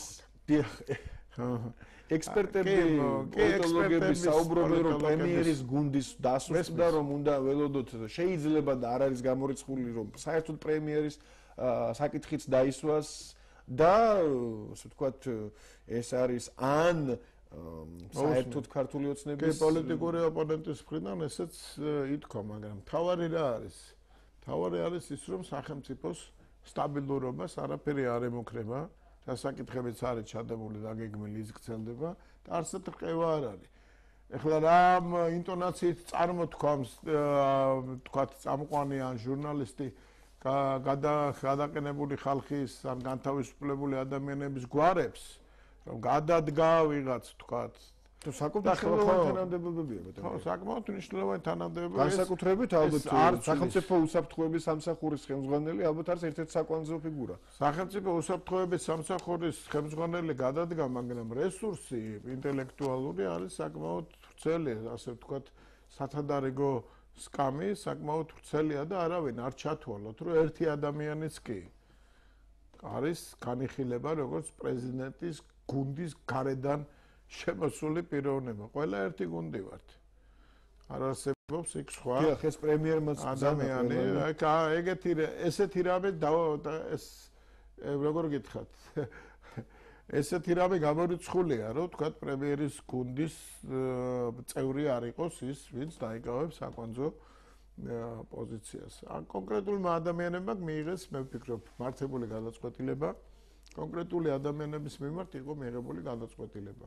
ეს არ არის კი მაღალი თანამდებობებია, საკვანძო ადგილებია, მაგრამ არ არის ის, რასაც შეიძლება მოყვეს რაღაცა რკევა. ანუ თქვენ გამორიცხავთ რომ არსებობს როგორ ამბობენ სახელმწიფო კრიზისი. კრიზისი სახელმწიფო ან სამთავრობო ან ბევრი ტერმინი შეიძლება. ხო, იცით რა, რომ მეკითხებიან და ამაზე რაღაც ესეთი კაცრი დაჟინებული ტონით ამბობენ, რაღაც არ ვიცი, პიროვნული ხასიათიდან გამომდინარე, მერიდება რომ მაინც და მაინც აი ესე დაუპირისპირო რომ არავითარ შემთხვევაში, იმიტომ რომ არავითარ შემთხვევაში ეს პასუხი არის იმდენად სწორი და ნორმალური, რომ არ მგონია, რომ ჯირი უნდა იკრა მკერდზე და უნდა იყვირო, რომ არავითარ შემთხვევაში არ მოხდება ის, რომ რაღაცა დესტაბილიზაცია ამ სამთავრობო კრიზისი არ არის, არ აქვს ადგილი და არავითარი ფიცი მტკიცის აუცილებლობა არ არსებობს. რაც უფრო მეც იმართლებ თავს ასეთ შემთხვევაში, ვფიქრობ, უფრო მეტებს გააჩრენ და მინდა თქვენ მაყურებელს უთხრა, რომ ამ ხრივ ბევრ საკითხებში შეიძლება უკმაყოფილება არსებობს, მაგრამ ამ ხრივ ყველაფერი წესრიგშია. გასაგებია და მე მინდა რაკი თქვენ აბსოლუტურად გამორიცხავთ. აბსოლუტურად არაფერი არ უნდა გამორიცხოს საერთოდ ცხოვრებაში. ყოველ შემთხვევაში მაგრამ კრიზისი აქვს თავისი ნიშნები. თავ კრიზისის ნიშნები არის სამთავრობო კრიზისზე მეტად საუბარია, ანუ მაშინ დავაკონკრეტოთ. მართვის კრიზისი. არ არის საუბარი იმაზე, რომ ზოგადად კოალიციას დაუდგა პრობლემა ქვეყნის მართვის. აქ საუბარია კონკრეტულად პრემიერ-მინისტრის და უშუალოდ პარტია ქართულ ოცნებაზე მეტად, ვიდრე კოალიციაზე და ხელისუფლებაზე საერთოდ. მოიცით, საუბარია იმაზე, რომ ეს დააკლდას ვიათ ჯანგარაშვილი, საკმაოდ კარგი ორგანიზატორია, ენერგიული ადამიანია, ნეჯერი. მე არ ვიცი მისი განვლიგზის პერიპეტიების შესახებ, მაგრამ ვფიქრობ თავი არსად არ შეურცხვენია. დააკლდა, ვფიქრობ ესეც არ არის ის თემა, რომ ეს ადგილი მოშიშვლებულია და ამას არაფერი არ ეშველება. ყველაფერი წესრიგში იქნება, მაგ მხრივაც ორგანიზაციული ნაწილი იქნება მაღალ დონეზე, ისევე როგორც იყო. გასაგებია, მე მაშინ ამ საკითხთან დაკავშირებით კითხები აღარ მაქვს მე მინდა დანარჩენ ასე ვთქვათ კიდევ ერთ ძალიან მნიშვნელოვან საკითხს შევეხო რომელიც ძალიან აქტუალური იყო და დღემდე რჩება გარკვეულწილად ეს არის ვალუტის კურსის თემა. მე მესმის რომ შესაძლოა თქვენ არ ახართ უშუალოდ ასე ვთქვათ პასუხისმგებელი ხელისუფლებიდან ამ თემებზე მაგრამ მე ასევე დარწმუნებული ვარ რომ ჩვენს მაყურებ ჩვენი მაყურებელის ინტერესით მოისმენდა თქვენს პოზიციას პრემიერმა ამასთან დაკავშირებითაც გააკეთა განცხადება ზოგადად ეკონომიკურ სიტუაციაზე, ინვესტიციებზე, ვალუტის კურსზე. ინვესტიციების ციფრიც თქვა გაზრდაზე 99%-ით და 150%-ით. ხო, არა, საკმაოდ დიდია ზრდა. ეხლა რაშია საქმე, იცით? ისე მედიას უნდა დაუბრუნდე ძალიან მოკლედ. არ არის საშუალება და არასწორია, რომ კონდეს ის მედია, შენი მედია საშუალება, რომელსაც მხოლოდ პოზიტიურ თემებზე ისაუბრებს. ყველგან გავიდა ეს ინფორმაცია, თუმცა რაღაც გარკვეული მეორე ინფორმაციით გადაიფარა. მნიშვნელოვანია სტაბილურობა ხა. ბევრჯერ გავიმეორეთ, არც არის აქსიომურია. სტაბილურობა სწორედ აქეთკენ არის მიმართული ბევრი ადამიანის მისწრაფება თუნდაც კონკრეტული პოლიტიკური ოპონენტების, რომ რაღაც სტაბილურობას შეუქმნა საფრთხე. არის ეს ტენდენციები რა რაღა დაუმალოთ სწორედ თქვა პრემიერ-მინისტრმა ამ შემთხვევაში მე არათუ ეთანხმები არამედ ამ თემაზე უკვე დიდი ხანია საუბარი მიდის. მიუხედავად ციფრების მიუხედავად რეიტინგების რომელიც საერთაშორისო ცნობილმა კომპანიებმა გამოაქვეყნეს რეიტინგები თურმე იქ ბიზნესის სტაბილურობა კორუფციის მაჩვენებელი. არის საკმაოდ ისეთი თვალში საცემად გაუმჯობესებული და უკეთესობისაკენ წასული. რაც უფრო უკეთესობისაკენ წახვალ, უფრო მეტი იქნება შემოტევა შენი მიმართულებით. რაც შეეხება ესე დოლარის გამყარებას, კი, მართლაც გამყარდა დოლარი სხვა ვალუტებთან მიმართებაში. ეს განპირობებულია უამრავი უამრავი საკითხით. საკმარისია ვთქვათ სახელმწიფო რეზერვების ხელმძღვანელმა ამერიკის შეერთებულ შტატებში რაიმე განცხადება გააკეთოს ან რაიმე შეეშალოს ან პირიქით გამოვიდეს და ოპტიმისტური განცხადება გააკეთოს ეს უშუალებელ ყევას ამ პირიქით გამყარებას იწვევს ბირჟაზე სხვადასხვა მიმართულებებით. უშუალებელი სისტემაა რომელსაც არ ვიცნობთ. მიუხედავად იმისა რომ დიდხანს ვიყავით საზღვარგარეთაც ამერიკის შეერთებულ შტატებში ძალიან პატარა ცოდნაა რას წარმოადგენს ბირჟა რას წარმოადგენს ეს ვალუტის ყევების და საერთოდ რისგან არის შემდგარი ეს პოლიტიკური სხვადასხვა ტენდენციები და კონjunktურა. აქედან გამომდინარე, მე ვფიქრობ, რომ სახელმწიფოს ექსპერტებმა მე არ ამაქვს ის საშუალება, რომ ან ვიცი რაღაცა და ვიცავ სახელმწიფო პოზიციას, არა ვარ ნამდვილად ამისთვის განწყობილი. საექსპერტო საზოგადოებამ ვერ მოგვაწოდა საზოგადოებას, მეც საექსპერტო საზოგადოებამ ვერ მოგვაწოდა დამაჯერებელი არგუმენტები და ფაქტები, ანალიზი იმისა თუ რამ განაპირობა ეს ყევა. ორ ლარამდე და ორ თეთრამდე თუ სამ თეთრამდე ავიდა რასაკურველი ეს მოსახლეობაში იწვევს არასტაბილურობის განცდას. თუმცა რეალურად მდგომარეობა გაუმჯობესებულია მნიშვნელოვნად უკვე დღეს შედარებით გამოსწორდა. ხო, ფიქრობ რომ ამ საკითხზე სანერვიულო ნაკლებად გვექნება. გასაგებია მე დიდი მადლობა მინდა გადაგიხადოთ მობრძანებისთვის საინტერესო საუბრისთვის. არ გადართოთ დარჩით მეორე არხზე. რამდენიმე წუთში ჩვენ იგივე სახელმწიფო გადაადგილების თემით ექსპერტებთან ერთად დაბრუნდებით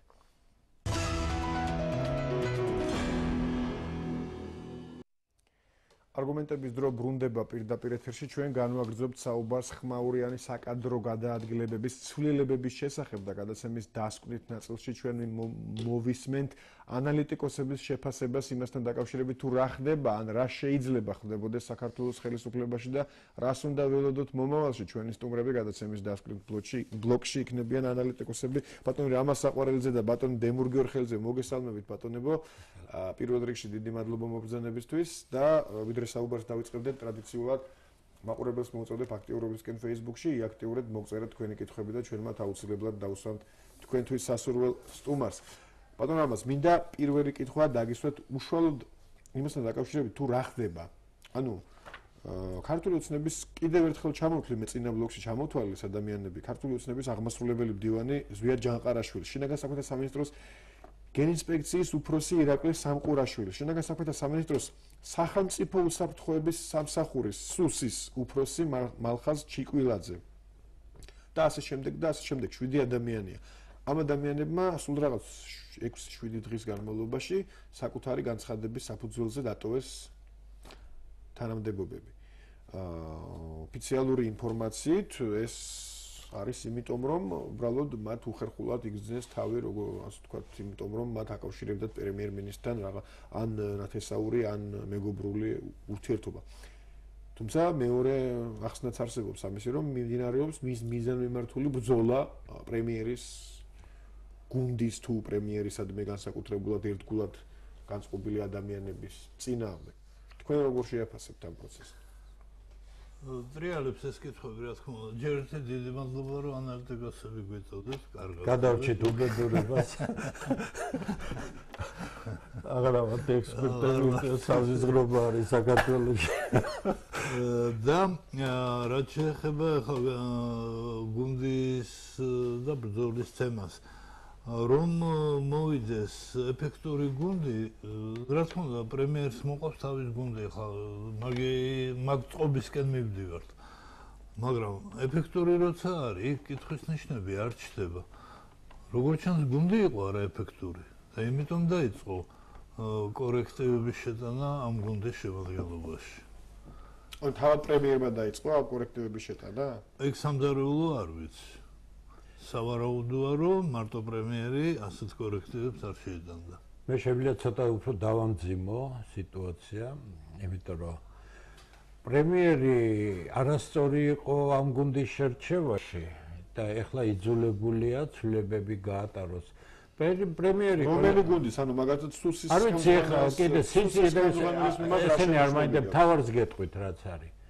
მას ყავდა ჩვენ მერე გავიგეთ 2-3 თვის მერე რომ ეკონომიკის სფეროში მრჩეველი ყოლია ვიღაც თორცდები ჩხენკელი რომლის არსებობის შესახებ მგონი ეკონომიკურ საბჭოს დივანს გულისხმობთ ხო ალბათ ხო და თან მრჩეველიც იყო პრემიერ-მინისტრი და კიდე 40 კაციანი მრჩეველთა საბჭო რომელსაც თვეში მილიონს უხდიდნენ ხელფასხოსურია და გიოვოლსკიმ ჩემო მეგობარმა თქვა რომ ექსპერტთა საზოგადოებამ ვერ მოგვაწოდაო. ჩეკაიკაცო 40 ადამიანს უხდიდით ხელფასს ვინ არის ეს ხალხი?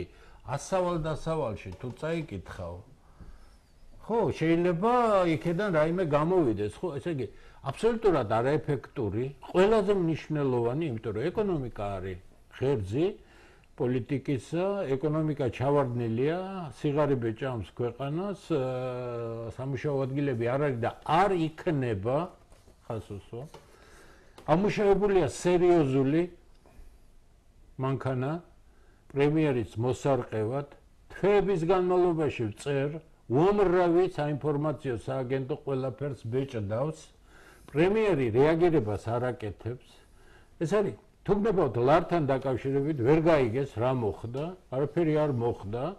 სპეკულაციური ჯგუფი, დიდი კაპიტალის ჯგუფი, შვედ იურა არაფერი მე რა გეუბნებით ვისაუბრებ. არა, გავიგე. მე გეტყვით ერთი ამბავად, კიდე გეუბნებით.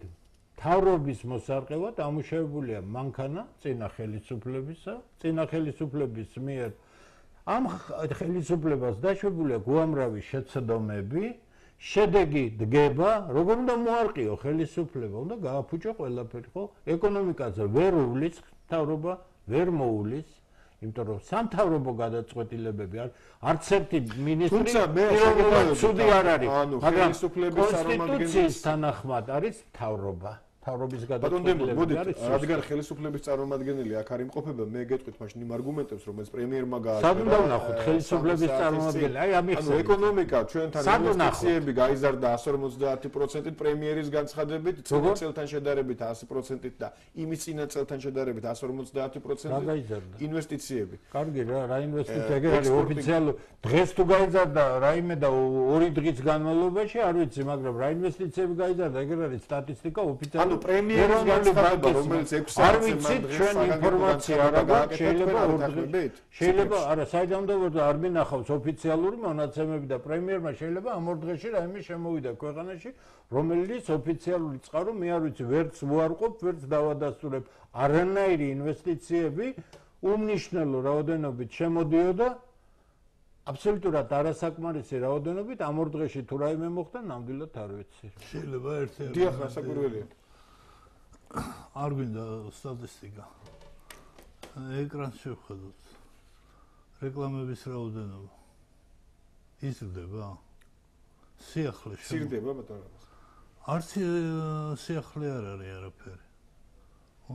წარმოება თუ არ ფართობდება, ისე რეკლამაც არ ფართობდება, ხო, შენარსობრივად. რა ხან რეკლამები იგივე ტრიალებს, ესე იგი წარმოებები არ ფართობდება. საზოგადოებრივი ანუ თქვენს ამ შემთხვევაში მაზრზე ხარ მე არა ეკონომისტის ამისგან განსხვავების ახლა რა შედარება? არა ეკონომისტის თვალით თუ შევხედავ საქონელი ძირდება რეკლამები ეკრანზე რაც ჩანს ძირდება ესე იგი არ მიდის პროცესი ისე რაც სუმარულად შეიძლება რიცხვების ისტორია. თუმცა აი მოთ მაშინ მე ეკონომიკური ზრდის პროცენტებზე ვისაუბრებ არ მინდა არ გვინდა პროცენტები? გეტყვი, აგერ, მე თვითონ გეტყვი, ზოპირად ვიცი ცებრები. 5%-ზე მაღალი. უმსხვილესი კომპანიების, ანუ მონოპოლური ჯგუფების ბრუნვა მოახლოეს 2 წელიწადში 9 მილიარდს მიაღწია, 2 წელიწადში გაიზარდა 4.5 მილიარდით. მონოპოლიები. დიახ. ცირე და საშუალო ბიზნესი სულ ზღაფავდა 2 წლის უკან, იმიტომ რომ წინა ხელისუფლება, რომელსაც დღეს გამოუჩნდნენ ყოფილი თანამდებობის პირები, ადეპტები, მეხოთბეები, რომ თითქოს ესე იგი ყველაფერს ლიბერალურ ეკონომიკას აშენებდა, თურმე ყველაფერი შესანიშნავად იყო ჩვენ რომელი ქვეყანაში ვცხოვრობთ, არ ვიცი. მილიარდი იყო 2 წლის წინათ მცირე საშუალო ბიზნესის ბრუნვა, დღესაც არის მილიარდი.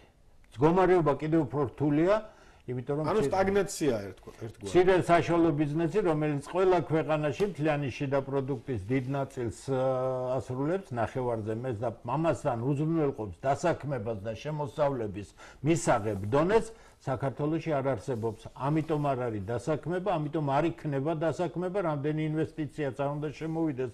თუ გნებავთ მილიარდი, მილიარდ 800 მილიონზე ოდნავ მეტი იყო 2007 წელს სააკაშვილის ხელისუფლების დროს მაქსიმალური ინვესტიცია. ერთ კითხვას დასვამ უფროსორად, აი ეკონომიკას და რეპლიკას გავაკეთებ და თქვენი აზრი მაინტერესებს და შემდეგ ისევ დაუბრუნდეთ თუ შეიძლება აი ამ სახელისუფლებო გადაადგილებების საკითხს. ეკონომიკური ზრდა ციფრებში, რომელიც ასევე სტატისტიკის სამსახურისგან და პრემიერისგან მოვისმინეთ, დღეს უშუალოდ არის 5%-ზე მაღალი და 5%-ზე მაღალი არის იმ დროს, როდესაც მეზობელ ქვეყნებში არის 2-3%-ის ფარგლებში, პირველ რიგში მაინტერესებს ეთანხმებით თუ არა, ანუ მე არ ვიცი თქვენ როგორ ჩანს ციფრებთან დაკავშირებთან ციფრებთან. წელს ალბათ 5 ნახე 5 ნახევრამდე ჰადაჰა 5 ანუ 5 ნახევრ 5 ნახევრ%-იანი ეკონომიკური ზრდა, ანუ ნიშნავს რომ ეკონომიკა კრიზისშია? ეკონომიკა ძალიან დაბალი ტემპით ვითარდება, იმიტომ პარალელურად უნდა ნახო რამხელა ინფლაციის ტემპი. ყველაზე ოპტიმისტური შეფასებებით ინფლაცია წლის მაჩვენებლებით იქნება 4%. სამუშაო ადგილების შექმნილი არ არის, თავისთავად შლიანი შიდა პროდუქტი არ არის ერთადერთი მაჩვენებელი, მას უნდა მოყვებოდეს კიდევ ხუთი მაჩვენებელი. ჩვენ ვიცით მხოლოდ ინფლაცია, შლიანი შიდა პროდუქტი. კორპორაციული შემოსავლები როგორია, სამომხმარებლო ხარჯები როგორია, ეს მე გეუბნებით სტანდარტულ რომ იტყვიან ნაკრებს, რომელსაც კლიენტში და პროდუქტს არავინ არ აქვეყნებს ამერიკაშიც და ევროპაშიც ასე იზოლირებულად. არაფერს კარგი მაჩვენებელია, მაგრამ ეს არ განსაზღვრავს დღეს ქვეყანაში არსებულ მდგომარეობას. გასაგებია. მოდით დაუბრუნდეთ ისევ სახელმწიფო გადაადგილებებს, ეს არის ჩვენი ძირითადი თემა. გასაგებია არის რამდენიმე მოსაზრება ერთ-ერთი მოსაზრება ბატონმა დემურმა გააჟღერა რომ არაეფექტური იყო ეს გუნდი, ანუ ეს ადამიანები. ორი წელია მთავრობარი არაეფექტური და ანუ ოპტიმიზაცია ხდება, მაშინ აქედან გამომდინარე.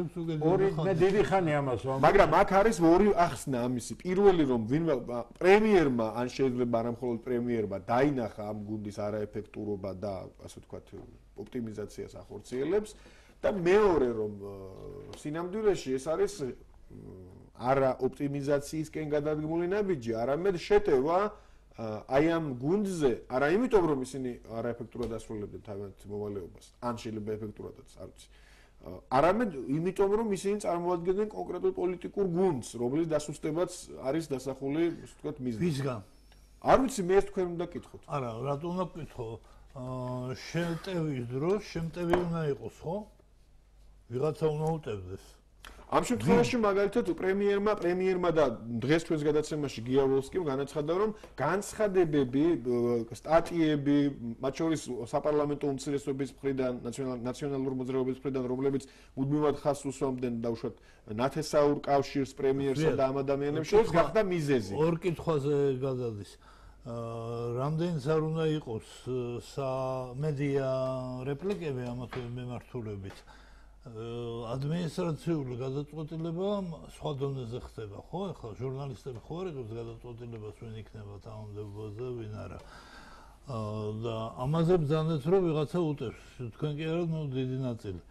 ესე იგი ვიღაცა არის, ვინც უტევს თვითონ ხელისუფლებაში? აა არ ვიცი ესეც თქვენ უნდა გკითხოთ. არა, ჩვენ რატომ უნდა გკითხოთ? ვინ რამდენ სესულელე ითქმება? ჩვენ ყველაფერზე პასუხი. ჭორაობას ვერ დავიწყებთ. ანუ თქვენ გამორიცხავთ რომ რამე შეწევა ხდება. არა ლოგიკურია. ჩვენ გამოდივართ შედეგებიდან. შედეგები ანუ გამორიცხავთ რომ რამე შეტევა ხორციელდებოდა რომელიმე გუნდზე. მე მაგალითად არ მესმის ის რომ პრემიერმა რომელმაც მოიყვანა თავისი თქვათ წრიდან ხალხი ვინც უნდა ის მოიყვანოს ხელისუფლებაში ის არის ამ შედეგი სად არის? არ არის შედეგი ხო? თუ იქ შედეგი არ არის მე შედეგი არ არის მაშინ ბუნებრივია იწება გადათამაშებები არის პოლიტიკური ოპონენტები არის მომძლავრებული ოპოზიცია პარლამენტში ყოფილი ხელისუფლება, რომელიც დღეს ხვანაირად სუნთქავს და ლამის დაივიწყა ყველაფერი, რას უკეთებდა ქვეყანა. მე დღეს მოვედი გითხრათ სიმართლე, მინდოდა ორი პოზიცია გამეჟღერებინა. მოდით მე ვიქნები ერთი მხრივ ხელისუფლების მეხუთბე. ხო, ხო შეიძლება მომწონს ყველაფერი და მეორე ვიქნები წინა ხელისუფლების, რომ ვიტყვენ ახლანდელი ზოგიერთი ყოფილი მაღალჩინოსანი, სინდიც ნამუს გარეცხილები, რომ ესე იგი იწებ და დავიწყებ იმის მტკიცებას, რომ რა შესანიშნავი იყო წინა ხელისუფლება, იმიტომ მან თურმე ლიბერალური ეკონომიკა დაანერგა საქართველოში. ეს მე და რამასაყვარელიძე იყო, რომ ციხეებში, იმ საზღვრებებში ჩავდიოდით. ჩვენ ვიბარებდით იმ ხალხს, ჩვენ ვართმევდით ქონებებს, ჩვენ ხოცავდით ქუჩაში ხალხს. მასეთ ვერსიით მშოობა. ესე იგი, კიდე მეორე ფაქტი, ნაციონალური მოძრაობის მომხრეებს და კიდევ იმ მაღალჩინოსნებს ზნეობა აქვს დაკარგული, რატომ იცი? მათი ბელადი იყო შევარდნაძის მარჯვენა ხელი და მათი ბელადი და კიდევ გარდაცვლილი არ მინდა საუბარი იყვნენ საყრდენი შევარდნაძის ხელი. ერთი და ორი წელი. მე ვიჯექი იმ დარბაში. მე ვიცი რა ხდებოდა იმ დარბაში. და დღეს, როდესაც თავისი სიგლახე უნდა დაფარონ, იმასაც კი ამბობენ რომ თითქოს მე ვიყავი შევარდნაძეც ასე იგი ბატონდებო როცა არასდროს იყავით იქ და არასდროს არნაირ შეხება მე შევარდნაძე ბატონდებო რასაკრული ძალიან ბევრი განცხადება კეთდება ყოველდღიურად არა მე რატო გეუბნები თიცი მიდის ეს არის საინფორმაციო ომი, რომელიც წინა ხელისუფლებამ იცის შესანიშნავად. მე არ ვიცი წინა ხელისუფლებამ იცის ხელისუფლებაში მყოფი პოლიტიკური ძალა არის სუსტზე სუსტი. პოლიტიკურად არის ძალიან სუსტი, ამიტომ იგი აგებს საინფორმაციო ომს ქვეყნის შიგნით და აგებს ქვეყნის გარეთ.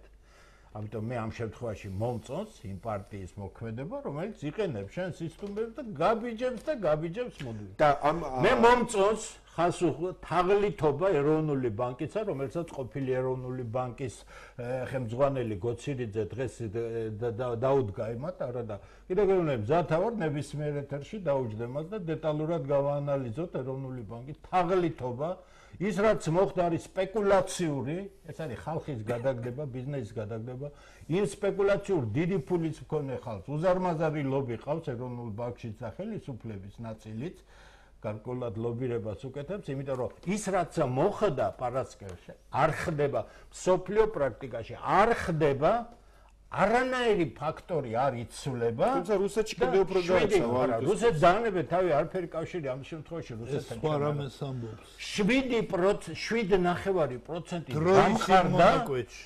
რამდენიმე საათში ვალუტა რომელიც უკვე განგრეული ქონდა 2 ლარის ნიშნული 1 დოლარს მოსინჯული იქნა სიმაღლე, რას გაკაჩავდა ამ შემთხვევაში და არანაირი ფუნდამენტალური ფაქტორი, არანაირი პოლიტიკური, არაფერი ასეთი რამს 1600 პუნქტით შეიცვალოს ვალუტის კურსი, ასეთი რამ არ ხდება სოფლიოს არცეთ. ეს არ არის საბაზრო, ეს იყო სპეკულაციური შეტევა. სანამ იქნებიან ხელმძღვანელები ეროვნული ბანკის, აი ესენი ბოლომდე მოთხრიან საქართველოს მთავრობას ხალხს უსვამ. ეხლა ვოლსკიმ თქვა, ვერ მოგვაწოდა მე ღმერთო დამიფარე ექსპერტთა იმაში თანამეგობრობაში არანაირი კავშირი არ მაქვს. 40 კაციანი სამსახური ყავდათ, ვიღაც ყავდა, ვიღაც ყავდათ, რჩევლად. წააგეს ყველაფერი, იმიტომ იმან რა უნდა გირჩიოს, ვერ გავი კაცი, რომელსაც სიტყვა რო თქოს არასდროს და ამხელა გლობალური რამე, როგორ უნდა გირჩიოს? გაგითამაშეს. და მაგისა არ თქმულა ერთი მთავარი რამ. ექსპერტთა გიასკან ექსპერტთა თანამეგობრობამ ვერ მოგვაწოდა და ისინი ან შეიცვლებიან ან დაიჯებიან ანუ ვერ გაკეთება ამ ქვეყანაში არის ჯერ. არა, თუმცა ახლა მეორე რამე ეკონომიკური საბჭოს ეკონომიკური საბჭოს მდივანი შეიცვალა. უფრო მეცადეთ საუბროს, მაგრამ მოდი ასე ვისაუბროთ. სხვანაირად საბჭოს ხელმძღვანელი შეიცვალა. არა. დიახ, სხვა რამეს გეტყვი. თავრობა დაინტერესებულია ვინმეს მოусმინოს? მანახეთ მთავრობის ერთი ღონისძიება რომელთაც იგი დაინტერესებულია ბატონო ძალიან დიდი ბოდიში მინდა მოგიხადოთ ფაქტიურად იწურება ჩვენი საუბრისთვის განკუთვნილი დრო და იქედან გამომდინარე რომ ჩვენ არ გვაქვს საშუალება ასე ვთქვათ ზოგადად ხელისუფლების შეფასება ზოგადად შევაფასოთ ხელისუფლების პოლიტიკა ამ რამდენიმე წუთის განმავლობაში. მე მინდა დაუბრუნდე აბა სტრელეჩნიკები მაბადიეთ ამ სიტყვით მეისრეები ხო? გადამყვანი ახლა მოხსნა და წაგაუშვა სახში რას იცი მე ისევ მინდა აი ამ თემას დაუბრუნდე. თქვენ ბრძანეთ რომ იქედან გამომდინარე რომ შედეგები არ არის ანუ ეფექტიანობა არ ჩანს, აქედან გამომდინარე, არ უნდა დავსვათ რაღაც შეთქმულების თეორიები და გამომდინარე კითხვები, ეს არის ელემენტარული. ეს არის პოლიტიკური პროცესი. მე ეს პროცესი ვიცი ძალიან უწმანად კონტრარგუმენტებიც გვესმის, რომ მაგალითად თუ ჩვენ გავაკრიტიკებთ დავუშვათ სუსის მუშაობას, არაფრით სხვა სტრუქტურების მუშაობა არ შეიძლება დავახერხოთ. გაშვაში ამ შემთხვევაში ეს ორგანიზაცია. იმიტომ რომ ამ უწყების ხელმძღვანელი გადადგა. მე რა რო გადადგა, რა მოხდა მე რა. და ამაზე ვსაუბრობ. ამერიკის თავდაცვის მინისტრი გადადგა იმ მიზეზის გამო, რომ არ ეთანხმება იმ პოლიტიკას, რომელსაც ვაშინგტონში არ ეთანხმებოდა და პარტიოსნად ასია თამაშის წესი ცივილიზებული ძლიერ. ამ შემთხვევაში ვიცით რატომ გადადგა? ამ შემთხვევაში ლაპარაკობთ რატომ გადადგა? ორგანიზაციის საქმიანობა ვიცით საერთოდ? ანუ ვერ ანუ ამ შემთხვევაში არ გაქვთ ვერსია. ანდა ატყდა ერთი ამბავი ჯანკარაშვილზე მე არ ვიცნობ ამ კაცს, მაგრამ კი მაგრამ ეს კაცი რომელი პარტიული ის იყო, თქვა ფუნქციონერი, რომ პარტიისთვის მოევლო, მიიყვანეს, იქ გააკეთა რაღაცა თუ არ გააკეთა რაღაცა და გადადგა, ხო? ასე რომ მიყავთ მე ძალიან გახმაურდა ჩემი შეფერა რომ ასე რომ მიიყვან და დააბერტყებ კაც ministrად და დააბერტყებ თანამდებობაზე დაბერტყილი კაცი იმ დაბერტყილ საქმიანობას აკეთებს. ტენდერები ვერ ჩაატარეს იცით რატო ვერ ჩაატარდა ტენდერები ბიძაშვილ მამიდაშვილები ვერ მოძებნეს რომელთაც ტენდერების იმას თანხებს მისცემდნენ და იმაში ძებნაში იყვნენ გარემოცვებში როგორ მოეძებნათ რომ ვერ ჩაატარეს ფული ვერ აითვისეს და რაზე გვესაუბრება? ჩვენ თავრობა რომ ეფექტო უნათესაობები არის ა ბატონრამას მე თქვენ მინდა დაგისვათ კითხვა ამიტომ მე რა არის დღეს სერიოზულად არ შემიძლია ვისაუბრო. ბატონ გასაგებია. ეს არის არასერიოზული გასაგებია თქვენი პოზიცია არასერიოზულია მდგომარეობა და სერიოზულად ვერ ისაუბრებთ გასაგებია. მე ბატონრამას მინდა. ბიუჯეტი დაგეგმილი ფული არ დახარჯეს იმიტომ რომ ჯერდი უნარო ministrები იყვნენ, ვინც არ დახარდა. აი სწორედ ამ კუთხით მინდა ახლა გეუბნებით ფარულ ბიზნესს. გასაგებია ბატონ დებური, ერთი წამი მამიდაშვილი ვერ იპოვეს მიმცემი, არ ეყოთ უკვე, გაივსო ყველა. მესმის თქვენი პოზიცია გასაგებია ბატონ დებური. ბატონ რამას. მე მინდა ასეთი კითხვა დაგისვათ და ამით დავამთავროთ პრინციპში. გასაგებია რომ არსებობს ძალიან ბევრი კრიტიკული შენიშვნა ხელისუფლების მიმართ, თუმცა ეს შენიშვნები მეტნაკლებად ნაწილდება ყველა მიმართულებაზე. ანუ ვერ ვიტყვით რომ რაღაც მიმართულებას განსაკუთრებით აკრიტიკებენ. შეიძლება რაღაც სამინისტროები არსებობენ, რომ სამინისტროები რომლებსაც მათ ნაკლები შენიშვნები არსებობს, მაგრამ ზოგადად ხელისუფლების კრიტიკა არის თქვა რაღაც თანაბარი, ვერ ვიტყვით რომ რამე დარგი განსაკუთრებით არის ამოჩემებული მედიის ან თუნდაც იგივე ოპოზიციის მიერ. არა, სერიოზული პროცესი. დავასრულებ ბატონო, თუ შეიძლება. ამ შემთხვევაში როდესაც ამ შემთხვევაში მიდის კონკრეტულად ეს ადამიანები, რომლებიც ვერ ვიტყვით, რომ სხვა ადამიანებზე უფრო ცუდად მუშაობდნენ ყოველ შემთხვევაში. თვით ასე ვთქვით, კრიტიკოსების მიერ შექმნების თეორია გინდა ისე.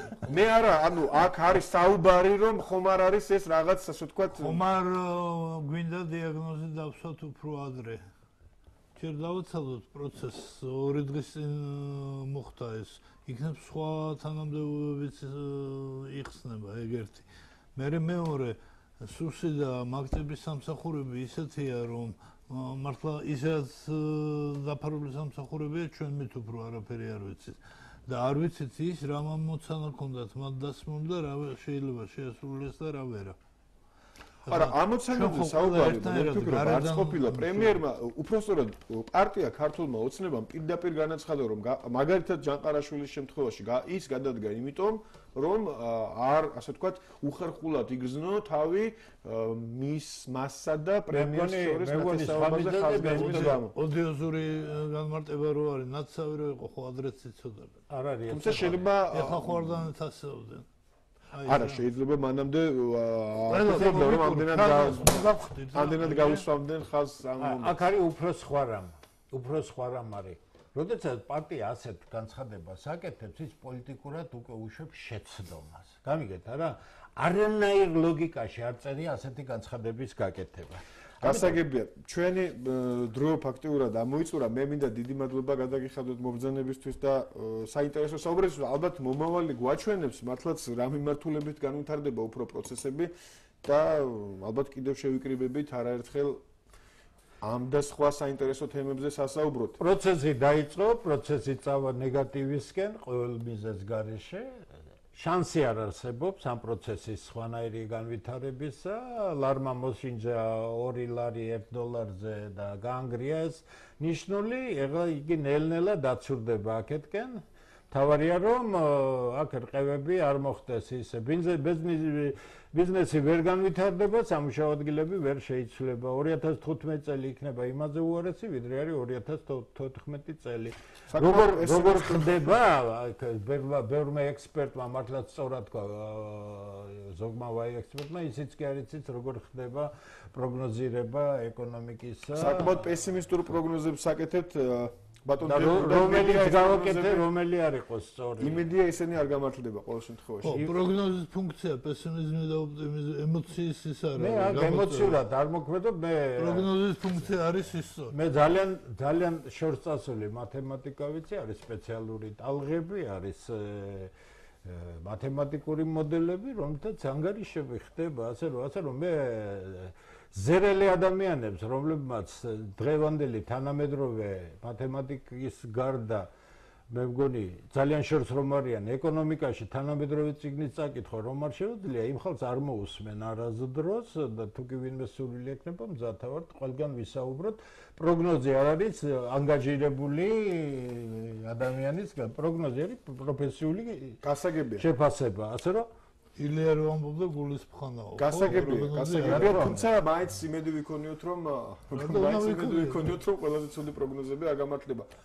ალბათ ეს ბუნებრივია ასეთი იმედი, ბატონ რამას. არა, იმედი ვიქონიოთ, რომ გავარკვევთ რა ხდება. დიახ. ესაა ყველაზე რეალისტური იმედი. და მინდა მადლობა გადაგიხადოთ კიდევ ერთხელ მობრძანებისთვის, ახლა ნამდვილად მოიწურა, უბრალოდ გადავწდით ჩვენთვის განკუთვნილ დროს მობრძანებისთვის, საინტერესო საუბრისთვის. აა გადაცემის ბოლოს მინდა მადლობა გადაუხადო ტელემაყურებელს ყურადღებისთვის არგუმენტების დრო დღეს ამით გემშვიდობებად შევხვდებით ერთმანეთს ხუთშაბათს ტრადიციულად 21 საათსა და 30 წუთზე. კარგად ბრძანდებოდეთ